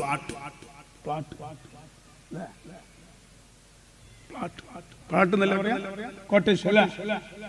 അവിടെ താമസിക്കുന്ന ഒരു മൂന്ന് നാല് താഴത്ത് നാല് വരെ മീത്ത നാല് വരെ. ഈ എട്ട് പേർക്കാർ ഒരേ മാപ്പിളി ഒരേ ഒത്തിരിയോളെ പോലെ. നമ്മളെ നാട്ടിലുണ്ടാകുന്ന ഈ മുസീബത്ത് അള്ളാഹു നമ്മളെ കാക്കട്ടെ. എന്ത് മുസീബത്താണ്? ഇത് പറഞ്ഞില്ലെങ്കിൽ തിരിയൂല മുസ്ലിം നിങ്ങളെ പറഞ്ഞാലേ തിരിയുള്ളൂ ഞങ്ങളുടെ പാട്ട് പാടിയിട്ട് പോയാൽ നിങ്ങൾക്ക് നല്ല കൊസിയാവും. നിന്റെ തിന്നാവും നിന്റെ ആഹ്റം പോയി നിന്റെ നാടും പോയി നിന്റെ കുടുംബം നാറി നിന്റെ ഉമ്മയും നാറി നിന്റെ ഉപ്പയും നാറിയില്ലേ? അങ്ങോട്ട് ഇങ്ങോട്ട്. ആ പരക്കാരൻ വന്നിട്ട് ഐസഞ്ഞാ ഐസഞ്ഞാ. അപ്പുറത്തെ. ഇപ്പുറത്ത് ഇപ്പുറത്ത് ഖബറു കുരുത്തം കെട്ടോ നിങ്ങൾക്ക് എന്താടാ ആ വീട്ടുകാരനെ ഇവിടെ വന്നിട്ട് പെണ്ണ് വിളിക്കേണ്ട ആവശ്യം എന്താടാ അല്ല ഉസ്താദ് ഞങ്ങ അയൽവാസികൾ വലക്കവാസികൾ ആർക്ക് അയൽവാസി അന്യ പുരുഷനിക്ക് അന്യ സ്ത്രീ അയൽവാസിയാ എന്ത് അയൽവാസിന്റെ സിസ്റ്റം എന്ത് അല്ല ഉസ്താദ് അള്ളാന്റെ റസൂൽ പറഞ്ഞില്ല? കറി വെച്ചെങ്കിൽ കറിന്റെ വെള്ളം കുറച്ച് ജാസ്തി ആക്കണം അത് ജാസ്തി നിന്റെ തലക്കൊയ്ക്കോന്. നിന്നോട് കറി കൊണ്ടെടുക്കാൻ പറഞ്ഞിട്ടില്ല പെണ്ണേ. നിന്നോട് കറി വെക്കാൻ പറഞ്ഞത് കറി കൊണ്ടോടിക്കേണ്ടതിന്റെ അപ്പുറത്തെ വീട്ടിലെ ആണുങ്ങൾക്ക് അപ്പുറത്തെ പേരത്തെ ഇപ്പുറത്തെ പേരത്തെ ആണ്. അപ്പുറത്തെ പേരത്തെ പെണ്ണ് ഇപ്പുറത്തെ പേരത്തെ പെണ്ണ് സംസാരിച്ചോ? പുരക്കുന്ന അപ്പുറം ഇപ്പുറം പോലെ ജാഗ്രത ആക്കണോ ഈ പ്ലാറ്റിന് ആ പ്ലാറ്റിലേക്ക് എന്ത്? നീ അങ്ങനെ പോയിട്ടാകുമ്പോ ആ പുരക്കാരം ഓന്റെ ഓന്റെ പ്ലാറ്റിൽ ഓന്റെ ഓളരത്തേക്ക് കുച്ചിലോളം വരും. നീ ഏഴുണ്ട് ഏഴുണ്ട് അപ്പൊ നോക്കുമ്പോ നീയുണ്ട് അപ്പുറത്തോളുണ്ട്. അപ്പൊ രണ്ടാളെയും കണ്ട്. അതായത് അത് നമ്മൾ ഇപ്പുറത്തെ പേര് പുതിയ കുടി വന്ന്. നിങ്ങളുടെ നിങ്ങളുടെ മുണ്ടിട്ട് സർവീസ് എല്ലാക്കി വെച്ചു. ഈ പിരാന്ത് വളരെ ജാഗ്രതയായിക്കൊള്ളോ? അള്ളാഹു നമ്മളെ കാക്കട്ടെ. അയൽവാസികൾ എന്ന് പേരും പറഞ്ഞിട്ട് ചില അജിന്റെ അമീറമാരായിട്ട് കുറെ അജിന് പോയിട്ട് അങ്ങനെ. ഒറ്റ അമീറിനെ കാണാൻ ഒരു പെണ്ണിന് അവകാശമുണ്ടോ? അജിന് പോയിട്ട് വന്നിട്ട് ഈ അമീറമാർക്കെല്ലാം തീർന്ന് ഏത് അമീർ അങ്ങനെ ആക്കുന്നോ അമീറിനെ മുഴുവനും ഞാൻ പറയുന്നേ എനിക്ക് അതിൽ ലാഭമൊന്നുമില്ല ആ അമീറിന്റെ അടുത്താണ് ഞാൻ പഠിച്ചോളാം. ഒരു മാസം വരെ ക്ലാസ് പഠിക്കണം. പഠിക്കട്ടെ. എന്താ അങ്ങനെ? എന്നിട്ട് ഈ അച്ഛന് കൊണ്ട് ഇയാൾ വന്നിട്ട് വരുന്ന ഉള്ളിലേക്ക് വന്നുള്ളോളം പോന്ന്. അസലാം അലൈക്കും. അജ്ജുമ്മാനെ വിളിച്ചു. എന്നിന്റെ സംബന്ധം? എന്റെ ഗ്രൂപ്പിൽ അജ്ജിന് വന്നിന് ഇന്നാലില്ലാഹി വ ഇലൈഹി റാജിഊൻ. വളരെ സൂക്ഷിക്കണം ഈ മുസീബത്ത്. ഇത് മൊയിലാറ് തങ്ങോന്നിട്ട് നോക്കണ്ട. ഏത് മൊയിലാറ് ഏത് തങ്ങളും ഏത് ഒലിയും. ശരീരത്തിന്റെ നിയമത്തിനെതിരെ വന്നാൽ അപ്പൊ തന്നെ കത്തിവെക്കണം. മൊയിലാറ തരവാട് സ്വത്തല്ല ദീൻ എന്ന് പറഞ്ഞാലേ ഷെയ്ഖിന്റെ തരവാടല്ല മൊയിലാർ ദീൻ എന്ന് പറഞ്ഞ ദീൻ അള്ളാഹുവിന്റെ ദീന് ومن يبتغ غير الإسلام دينا فلن يقبل منه وهو في الآخرة من الخاسرين الله നമ്മളെയും കുടുംബങ്ങളെയും അള്ളാഹു കാക്കട്ടെ പാടില്ല കേട്ടോ അയൽവാസികൾ എന്ന് പറഞ്ഞിട്ടോ അമീർ എന്ന് പറഞ്ഞിട്ടോ? ഇനി പഠിപ്പിച്ച ഉസ്താദ്. എന്റെ ശിഷ്യത്തി എന്റെ ശിഷ്യത്തി. പലക്കത്തി ശിഷ്യത്തി. എന്ന് പറഞ്ഞാൽ എന്താ മദ്രസ പഠിക്കുമ്പോ നിന്റെ ശിഷ്യത്തി. ഇപ്പൊ ആ പെണ്ണി പ്രായപൂർത്തിയായി. ആ പ്രായപൂർത്തിയായിട്ട് ആ പെണ്ണ് മംഗലല്ലായിട്ട് പോയി. എന്നിട്ട് ഓൾ പറയും എന്നെ എന്നെ മദ്രസയിൽ പഠിപ്പിച്ച ഉസ്താദ്. ആയിക്കോട്ടെ നല്ല? ദ്വാരക്കം പറയും ദ്വാരക്കം. ഉള്ളേക്ക് വരുന്ന ജാഗ്രത. ഉള്ളേക്ക് വരുന്ന ജാഗ്രത.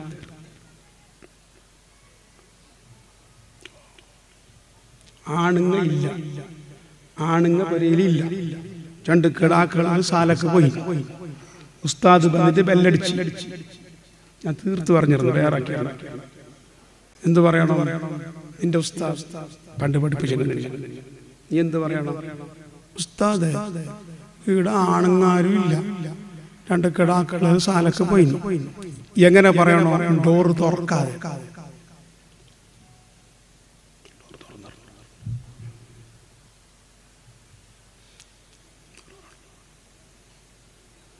അപ്പോ ഞാൻ പുറത്ത് തന്നെ പോകുന്നു പുറത്ത് തന്നെ പോകുന്നു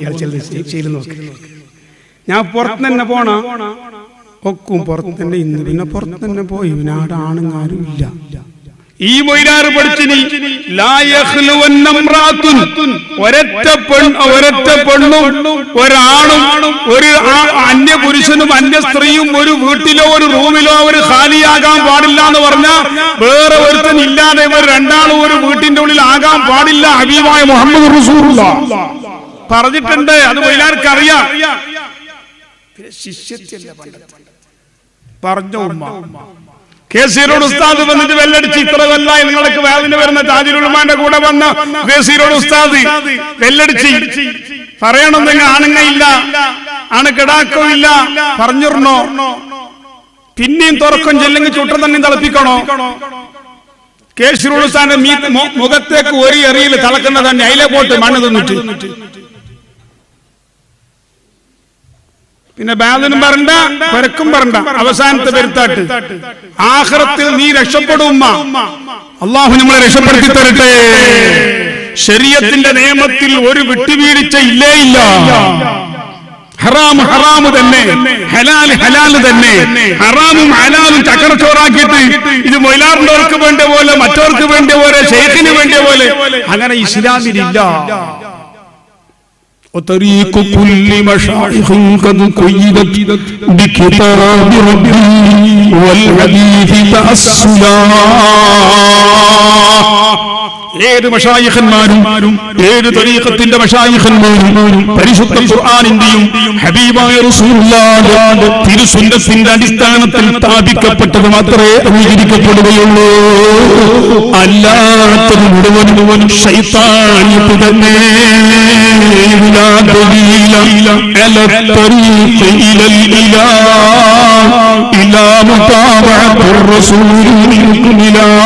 لا ഹബീബായ നബി സല്ലല്ലാഹു അലൈഹി വസല്ലം നിങ്ങൾ പഠിപ്പിച്ച ആശയ ആദർശങ്ങളോട് പിൻപറ്റലല്ലാതെ അള്ളാഹുവിലേക്ക് ചേരാനൊരു മാർഗവും ഇല്ല.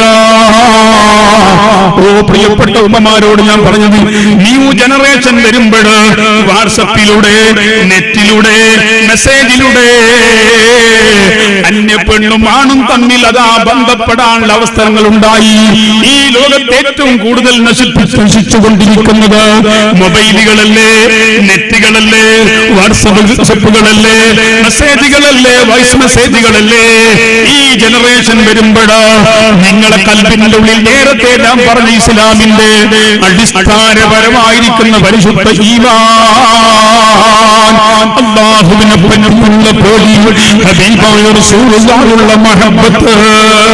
മരണത്തെ പറ്റിയുള്ള ചിന്ത കബറിനെ പറ്റിയുള്ള ഓർമ്മ മൈസറയെ പറ്റിയുള്ള ചിന്ത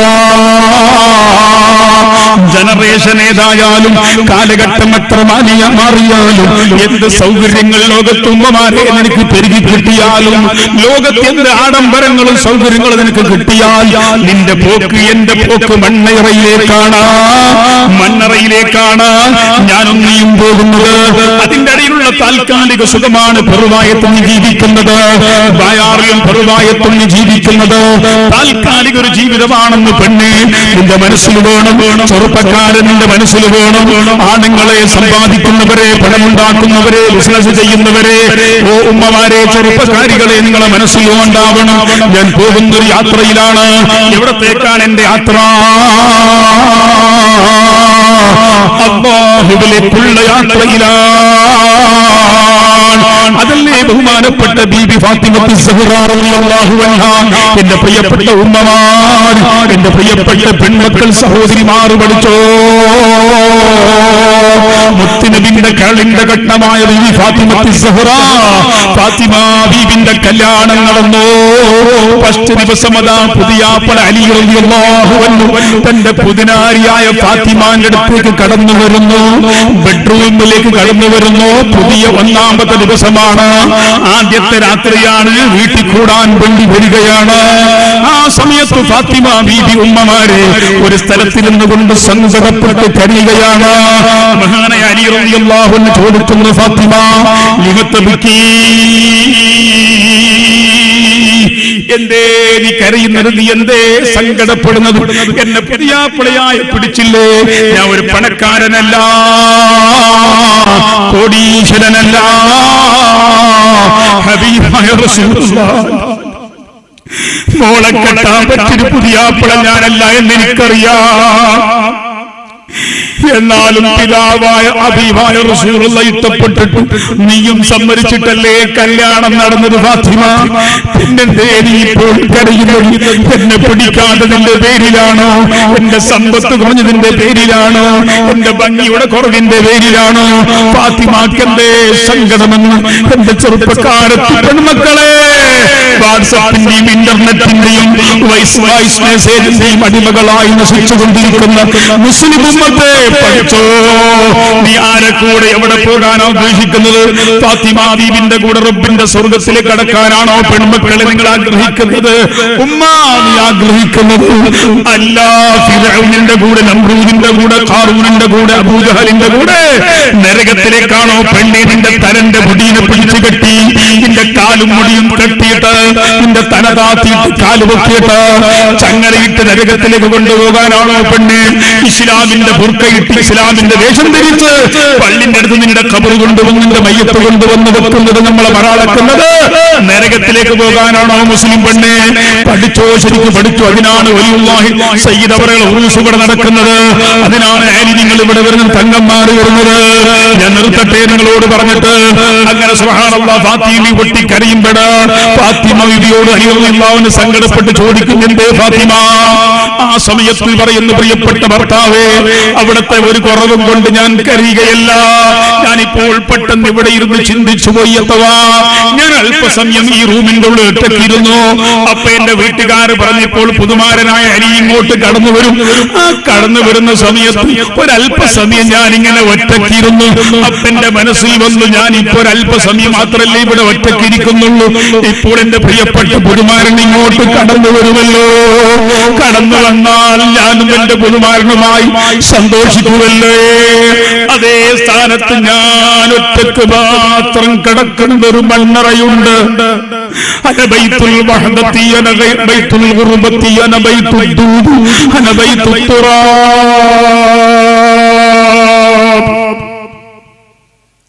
ഉമ്മമാരെ പൊതുവായത്തെ മക്ബറ ഖബർസ്ഥാൻ നിന്നോട് വിളിച്ചു പറയുന്നു നിനക്ക് എന്റെ പരിചയമില്ലേ?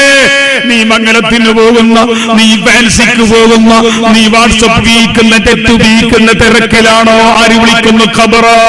ഓ ചെറുപ്പക്കാരാ നീ ഇസ്രായേലിന്റെ കട്ടിങ്ങും നീ ഇസ്രായേലിന്റെ തമ്മാണിത്തരവും നീ കള്ളിന്റെയും ബങ്കിന്റെയും അടിമകളായി ലോകത്ത് രക്ഷിച്ചുകൊണ്ടിരിക്കുന്ന യുവ സമൂഹങ്ങളിൽ കേട്ടോ പഠിച്ചോ? നാട്ടിലുള്ളവരും വിദേശത്തുള്ളവരും എന്തിനാണ് നിന്നെ പഠിച്ചത്? എന്തിനാണ് നിന്നെ റബ്ബ് പോറ്റുന്നത് എന്ന് ബോധ്യമില്ലാത്തവരില്ലേ പഠിച്ചോ? അതാ കബർ വിളിച്ചു പറയുന്ന ഞാൻ ഒറ്റയ്ക്ക് മാത്രം നീ വന്ന് കിടക്കേണ്ട വീടാണ്. ഇത് മണ്ണിന്റെ വീടാണ്.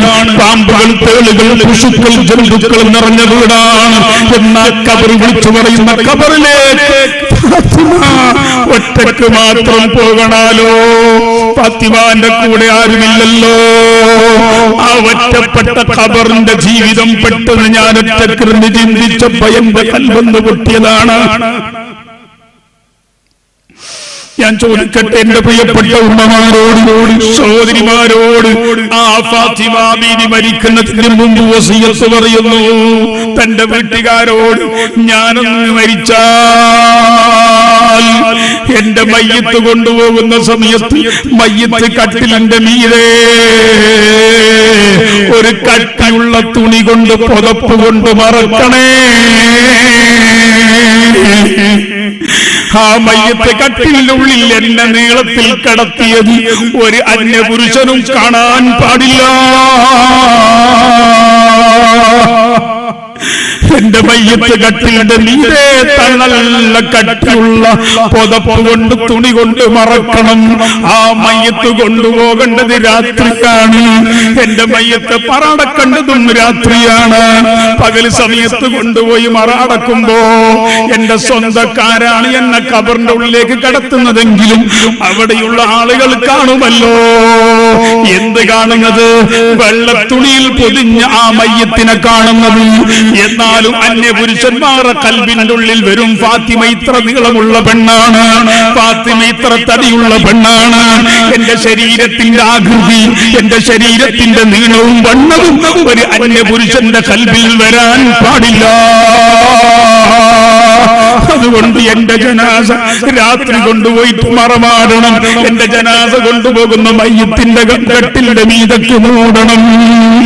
ഉമ്മമാരെ ഈ ഫാത്തിമ ബീബിയാണോ നിനക്ക് മാതൃക? അല്ലേതോ പരിഷ്കാരിയായ ഏതോ സിനിമക്കാരിയാണോ ഏതോ പരിഷ്കാരിയാണോ ഏതോ ലോകത്ത് തെണ്ടി നടക്കുന്ന തെണ്ടികളാണോ നിനക്ക് മാതൃക? അതുകൊണ്ട് എന്റെ സംസാരം നിർത്തുന്നു. അള്ളാഹുവിനെ പൊടിച്ചൊടി അള്ളാഹുവിനെ അറിഞ്ഞ് ആഖിറത്തെ ഓർമ്മിച്ചുകൊണ്ട് മുമ്പിലുള്ള ഭയാനകരമായ ഖബറിന്റെ ജീവിതത്തെ ഓർമ്മിച്ചുകൊണ്ട് ആ ഖബറിൽ കടക്കാനുള്ള കാലഘട്ടത്തെ പറ്റി ചിന്തിച്ചിട്ട് ആ കബറിൽ നിന്നെയും എന്നെയും വിളിച്ചിട്ട് റബ്ബിന്റെ കോടതിയുടെ മുമ്പിലേക്ക് കൊണ്ടുപോകുമെന്ന ചിന്ത ആ കോടതിയിൽ എന്റെ ചോദ്യം ചെയ്യപ്പെടുമെന്ന ചിന്ത. ഉമ്മമാരെ ചെറുപ്പക്കാരാ ചെറുപ്പക്കാരികളെ നിങ്ങളെയും എന്റെയും മനസ്സിലെപ്പോഴും വേണമെന്ന് എന്നോട് ആദ്യമായും നിങ്ങളോട് വസീയത്ത് ചെയ്തുകൊണ്ട് എന്റെ സംസാരം നിർത്തുകയാണ്. മലിക്കുൽ ജബ്ബാറായ അല്ലാഹ്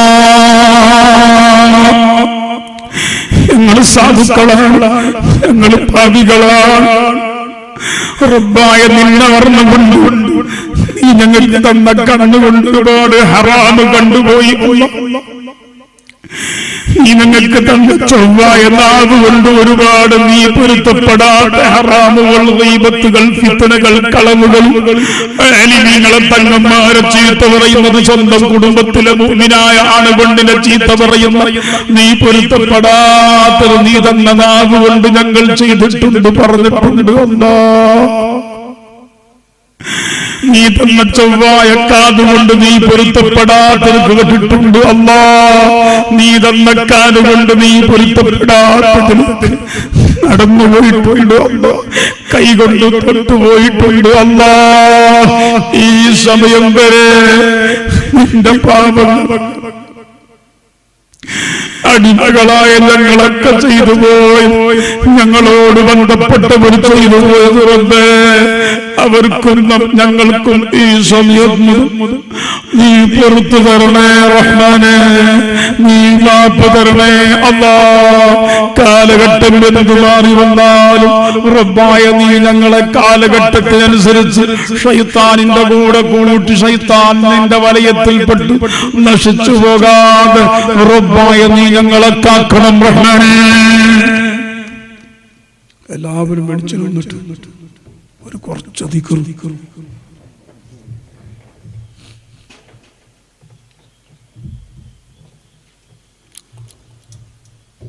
കുറച്ചധികം. ഒരു മുപ്പത്തിമൂന്ന്. അല്ല പതിനൊന്ന് മണിക്ക് നിർത്തിയിട്ട് പോയാൽ തന്നെ അടുത്ത് പന്ത്രണ്ട് മണിയാവും. ഞാനിപ്പോൾ എല്ലാ സ്ഥലത്തും പതിനൊന്ന് മണിക്ക് വേള കഴിഞ്ഞിട്ട് അങ്ങനെ ഏൽക്കുന്നുള്ളൂ. സുന്നി പറഞ്ഞിരുന്നു ഒരു എട്ട് മണിക്ക് തുടങ്ങിയിട്ട്. പത്ത് മണിക്ക് നിർത്താം എട്ടരക്ക് തുടങ്ങിയിട്ട് പത്തരക്ക് നിർത്തിയിട്ട് പോയിക്കോളി എന്ന് പറഞ്ഞു ആരും പറഞ്ഞിട്ടുണ്ട് ഇപ്പൊ മണി പതിനൊന്നായി അഞ്ച് മിനിറ്റ് കൊണ്ട് നമുക്ക് ദ്വാരക്കാം ഒരു കുറച്ച് ദിക്കർ ദിക്കർ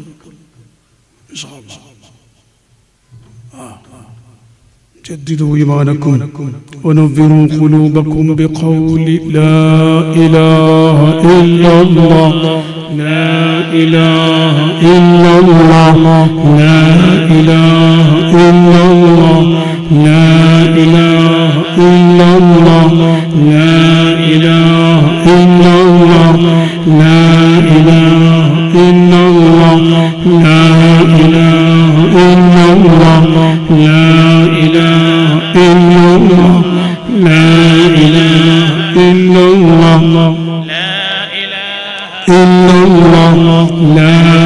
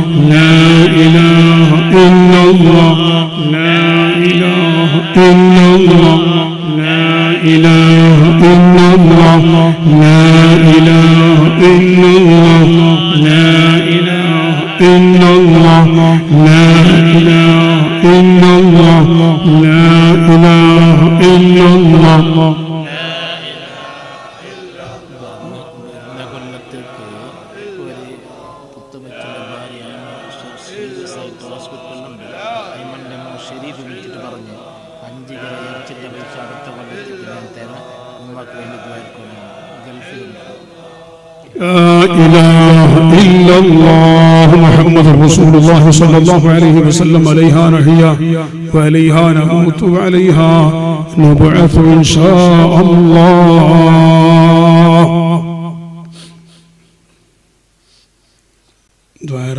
അവസാനം സലാത്ത് ചൊല്ലി ആണുങ്ങൾക്ക് മോതിരം വെക്കാം. അത് വലത്തെ കൈന്റെ ഈ വിരലിലേക്കാണ് വെക്കൽ സുന്നത്ത്. ഈ വിരലിലേക്ക് ഏറ്റവും ശ്രേഷ്ഠം അതിനെയാണ് ഒരു മൈലും വെക്കൽ സുന്നത്ത്. ഞാൻ ഇടത്തെ കൈയിലേക്ക് ഈ വിരലിലേക്ക് മൈരം വെച്ചിട്ട് പോയിട്ടുണ്ടായിരുന്നു. ചെറുവത്തൂർ സജിപ്പ് ഉസ്താദിന്റെ കൂടെ. എന്റെ ഈ കൈ നിന്ന് ഊരി മൂപ്പർ. ഊരിയിട്ട് ഈ വിരലിലേക്ക് വെച്ച്. വെച്ചിട്ട് പറഞ്ഞു ഫത്തുവിൽ മൊയിൽ യാനത്ത് തെർഷിയല്ല നോക്കിയിട്ടില്ല മൈലാരെന്ന് ചോദിച്ചു.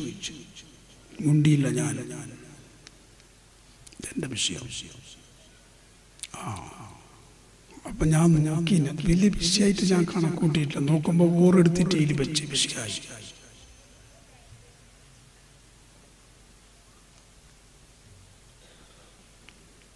അള്ളാഹു അപ്പോ അങ്ങനെ ഒരു മോതിരം ഇനിയിപ്പോ ആരെങ്കിലും ഒരാൾ ഒരു ബറക്കത്തിന് വേണ്ടി ഒരു മോയിരം തന്നു. എങ്കിൽ രണ്ടാമത്തൊരു മൊയ്യം വെക്കാം. അതേ സ്ഥാനത്ത് ഒരാൾക്ക് ഒരു മോയിരം മുത്തുപേട്ടയെന്ന് പിന്നൊന്ന് അജ്മീർന്ന് പിന്നൊന്ന് നാഗൂർന്ന് പിന്നൊന്ന് വേറെടുത്ത് അങ്ങനെ കിട്ടിയിട്ട് മൊയ്യം വെക്കുന്നത് അത് ഇസ്ലാമിന്റെ സ്വഭാവം എന്നുള്ളത് മാത്രമല്ല ചിലപ്പോൾ അള്ളാഹുവിന്റെ ദീനിനെ കളിയാക്കലായി പോകും. അള്ളാഹു നമ്മളെ കാക്കട്ടെ. ചില ആളുകൾ അഞ്ചു പേരിലേക്കും അഞ്ചു പേരിലേക്ക് അഞ്ചഞ്ച് പത്ത് പേരും. അപ്പൊ അയാൾ കാര്യമായ ഒലിയാണ്. കാരണം അഞ്ച് അഞ്ചഞ്ച് പേരിലും ഒയിരമുണ്ട് ഒലിയല്ലാത്ത ആൾ ഇങ്ങനെ വെക്കേല. പച്ച പിരാന്താന്ന് അർത്ഥമുള്ള സലാമത്താക്കി തീർക്കും ഒലിയല്ല. സുഖമില്ല കേട്ടാ കേട്ടാ? പിന്നെ ഏടാ ഇവർ എന്താ ആളെ പേര്? ഷെരീഫ് എന്ന് പറയുന്ന ആൾ അയാളെ ഉമ്മാക്ക് സുഖമില്ലാണ്ട് ആസ്പത്രിയിലുണ്ട്. വരുന്ന പോലത്തെ ഉറൂസിന് വേണ്ടി അഞ്ച് കിലോ ആട്ടിറച്ചി റഹമുറാഹിമായ അള്ളാഹു. എല്ലാവരും ആമീൻ പറഞ്ഞു നമുക്ക് ഒന്നിറക്കുന്ന ആ ഉമ്മയുടെ രോഗം നീ ഷഫിയാക്കണേ അല്ല. നീ ഷഫിയാക്കണേ അല്ല. സയ്യിദവരുടെ കറാമത്ത് കൊണ്ട് ഈ രാത്രിന്റെ വറക്കത്തുകൊണ്ട് ബഹുമാനപ്പെട്ട വയാർ തങ്ങൾ വന്നിവിടെ വയർന്നുപോയ മജിലിസിന്റെ പുണ്യം കൊണ്ട് ആ ഉമ്മക്ക് നീ ശിഫ നൽകണേ അല്ല. റാഹത്താക്കി കൊടുക്കണേ അല്ല. വേറെ പലരും ദ്വാരക്കാൻ കൊടുത്തിട്ടുണ്ടാവും. അല്ല ബൈക്കാൻ കേട്ടോ. ഇത് ഒരാൾ അഞ്ഞൂറ് ദ്വാരക്കാൻ ആ വേണ്ട. വേറെ കുറച്ച് പൈസ ദ്വാരക്കാൻ കൊടുത്തിട്ട് തങ്ങളെ കയ്യിലും കൊടുത്തിരി. ആ നിങ്ങ മുന്നൂറ്റി.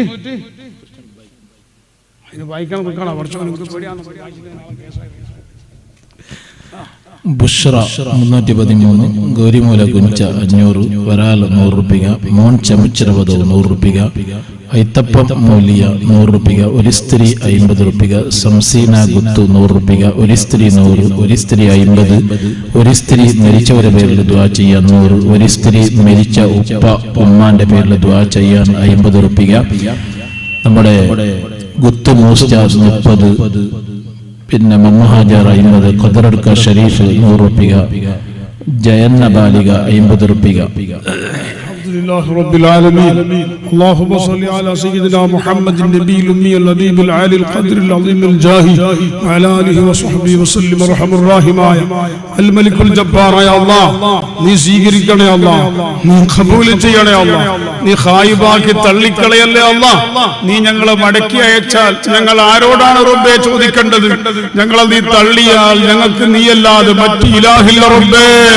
ഞങ്ങളെ ദ്വാരം നീ കബൂൽ ചെയ്യണേ റബ്ബേ. പാവങ്ങൾ പാവങ്ങളാണ് സാധുക്കളാണ്.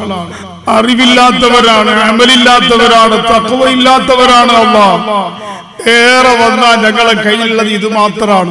ഇൽമിന്റെ മജ്ലിസ് എന്ന് പറയുമ്പോ ഞങ്ങൾ വന്നിട്ട് ഇവിടെ കൂടുന്നു. നിന്റെ മഹാന്മാരെ പരിസരത്ത് കൂടുന്നു നിന്റെ പള്ളിന്റെ അടുത്ത് വന്നു കൂടുന്നു. ഇത് മാത്രമാണ് റബ്ബെ ഞങ്ങളെ കയ്യിലുള്ളത്. നീ കബൂലാക്കണേ റഹ്മാന്. ഈ മജ്ലിസ് കാരണമായി ഇവിടെ മറപ്പെട്ട് കിടക്കുന്ന സയ്യിദുകളുടെ പറക്കത്ത് കൊണ്ട് സകല അഖിലുബൈത്തിന്റെയും മൗലിയാക്കളെയും പറക്കത്ത് കൊണ്ട് ഞങ്ങളെ ദുന്യാവും ആഹറും നീ സലാമത്താക്കി തരണേ അല്ല സകല കുറ്റങ്ങളും പൊറുക്കണേ അല്ല സകല കുറ്റങ്ങളും അയബുകളും മാപ്പ് തരണേ അല്ല ഈ മജ്ലിസിൽ ഒരുമിച്ച് കൂടി ആണ് പെണ്ണ് ചെറുത് വലുത്. ഈ ഉറൂസിന്റെ പരിപാടിന്റെ തുടക്കം മുതൽ അവസാനം വരെ ഇതിനെ സഹായിക്കുന്നവർ സഹകരിക്കുന്നവർ ഏറ്റെടുക്കുന്നവർ അള്ളാഹുവെ അവിടെ ഞങ്ങളെ സർവ രോഗങ്ങളും നിശോഭയാക്കണേ അല്ല. മാരകമായ ക്യാൻസർ വിധിക്കല്ലേ അല്ല. കിഡ്നിക്ക് അപകടം തരല്ലേ അല്ല. ട്യൂമർ തരല്ലേ അല്ല. സൈഡ് എഫക്ട് തരല്ലേ അല്ല. റബ്ബേ ഡയാലിസിൽ ജീവിക്കുന്ന അവസ്ഥ തരല്ലേ അല്ല. വാഹന അപകടത്തിൽപ്പെടുത്തല്ലേ അല്ല. സകല അപകടങ്ങളെ തൊട്ട് നാട്ടിലും ഗൾഫിലും ആരെല്ലാം എവിടെയെല്ലാം ഞങ്ങളോട് ബന്ധപ്പെട്ടവരുണ്ടോ? അവരെയും ഞങ്ങളെയും നീ കാക്കണേ റഹ്മാനേ. ഞങ്ങളെ സ്ഥാപനങ്ങളെ പ്രവർത്തനങ്ങളെ സഹായിക്കുന്നവരെ നീ രക്ഷപ്പെടുത്തണേ റബ്ബേ. ജബ്ബാറായ എന്തെല്ലാം ഉദ്ദേശങ്ങൾ പറഞ്ഞിട്ടാണ് ഇവിടെ ലീസ്റ്റ് വായിച്ചത്. അതുപോലെ മജിലിസിൽ സതക്ക് കൊടുത്തത്. അതെല്ലാം നീ ആസിലാക്കി തരണേ അല്ലാ പ്രശ്നങ്ങൾക്ക് പരിഹാരം നൽകണേ അല്ലാ മക്കളെ സാലിഹായ മക്കളാക്കണേ അല്ലാ നിങ്ങളെ ചെറുപ്പക്കാരെ നിന്റെ ദീനിന്റെ ഹാദിമ്യങ്ങളാക്കണയല്ല തമ്മാടികളാക്കല്ലേ അല്ല ഭംഗി വിളിക്കുന്നവരിൽ പെടുത്തല്ലേ അല്ല കള്ളുകുടിയന്മാരിൽ പെടുത്തല്ലേ അല്ല ഹറാമിനെ തിന്നുന്നവരിൽ പെടുത്തല്ലേ അല്ല ഹലാലുകൊണ്ട് മതിയാക്കണേ റഹ്മാന്. റബ്ബേ ഓരോരുത്തരുടെ വിഷമങ്ങൾ പ്രയാസങ്ങൾ കടങ്ങൾ ബുദ്ധിമുട്ടുകൾ റബ്ബായ നീ അറിയുന്നവനാണ്. എല്ലാം നീ മജിലിസ് കാരണമായി നീ പരിഹരിച്ചു കൊടുക്കണം. കടം വെച്ച് മരിക്കുന്ന ഒരവസ്ഥ തരല്ലേ? ഇരിക്കാൻ വീടില്ലാത്തവരുണ്ട് ഹയറായ വീട് നൽകണേ അമ്മ പെൺമക്കളെ കല്യാണം നടക്കേണ്ടവരുണ്ട് ഹയറായ നിലയ്ക്ക് നടത്തി കൊടുക്കണേ അമ്മ കല്യാണം കഴിച്ച് മക്കളില്ലാത്തവർക്ക് സ്വാലിഹായ മക്കളെ നൽകണേ അമ്മ ഗർഭിണികളായ പെണ്ണുങ്ങൾക്ക് സുഖപ്രസവം കൊടുക്കണേ അമ്മ മാനസികമായി ഭ്രാന്തപരമായി പലതരക്കുള്ള രോഗത്തിൽ പിടിപെട്ടവരുണ്ട് നീ ശിഫയാക്കണേ അല്ലാ ബുദ്ധിശക്തി ഇല്ലാതെ മന്ദബുദ്ധിയുള്ള കുട്ടികളുണ്ട്. നീ ബുദ്ധിശക്തി കൊടുക്കണേ അല്ലാ സംസാര ശക്തി ഇല്ലാത്തവർക്ക് സംസാര ശക്തി കൊടുക്കണേ റഹ്മാൻ.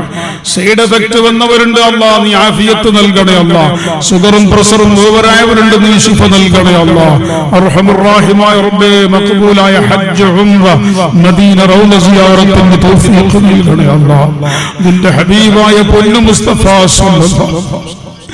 ആ മുഖം ഞങ്ങൾക്ക് മരിക്കുന്നതിന് മുമ്പ് നീ ഒന്ന് കാണിച്ചു തരണേ അല്ലാ ആ മുഖം കാണാതെ ഞങ്ങൾ ആരെയും നീ മരിപ്പിക്കുന്നു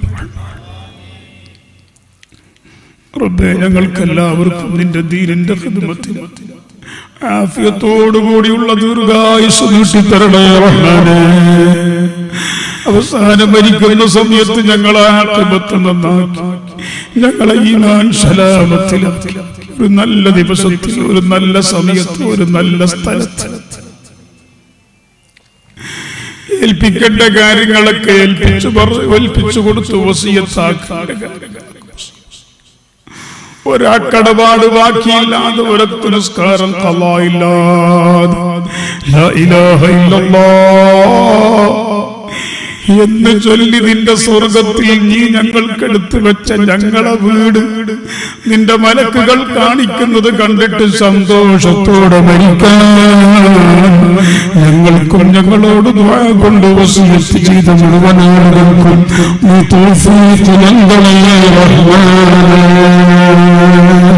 ഞങ്ങളെയും ഞങ്ങളിൽ മരണപ്പെട്ടു പോയ ഞങ്ങളെ മാതാപിതാക്കൾ ജ്യേഷ്ഠാനുജന്മാര് ഭാര്യ മക്കൾ ഉസ്താദുമാർ ശിഷ്യന്മാര് അതുപോലെ ഞങ്ങളെ ഉലമ അടക്കമുള്ള ഞങ്ങളെ നേതാക്കൾ സാധാത്തുക്കളല്ല അവരെല്ലാവരെയും ഖബർ വിശാലമാക്കണേ അല്ലാ. അതുപോലെ ഈ പള്ളിന്റെ പരിസരത്ത് മരിച്ചു കിടക്കുന്ന കബറാളികൾ ഖബർ വിശാലമാക്കണയല്ല സ്വർഗത്തോപ്പാക്കണയല്ല.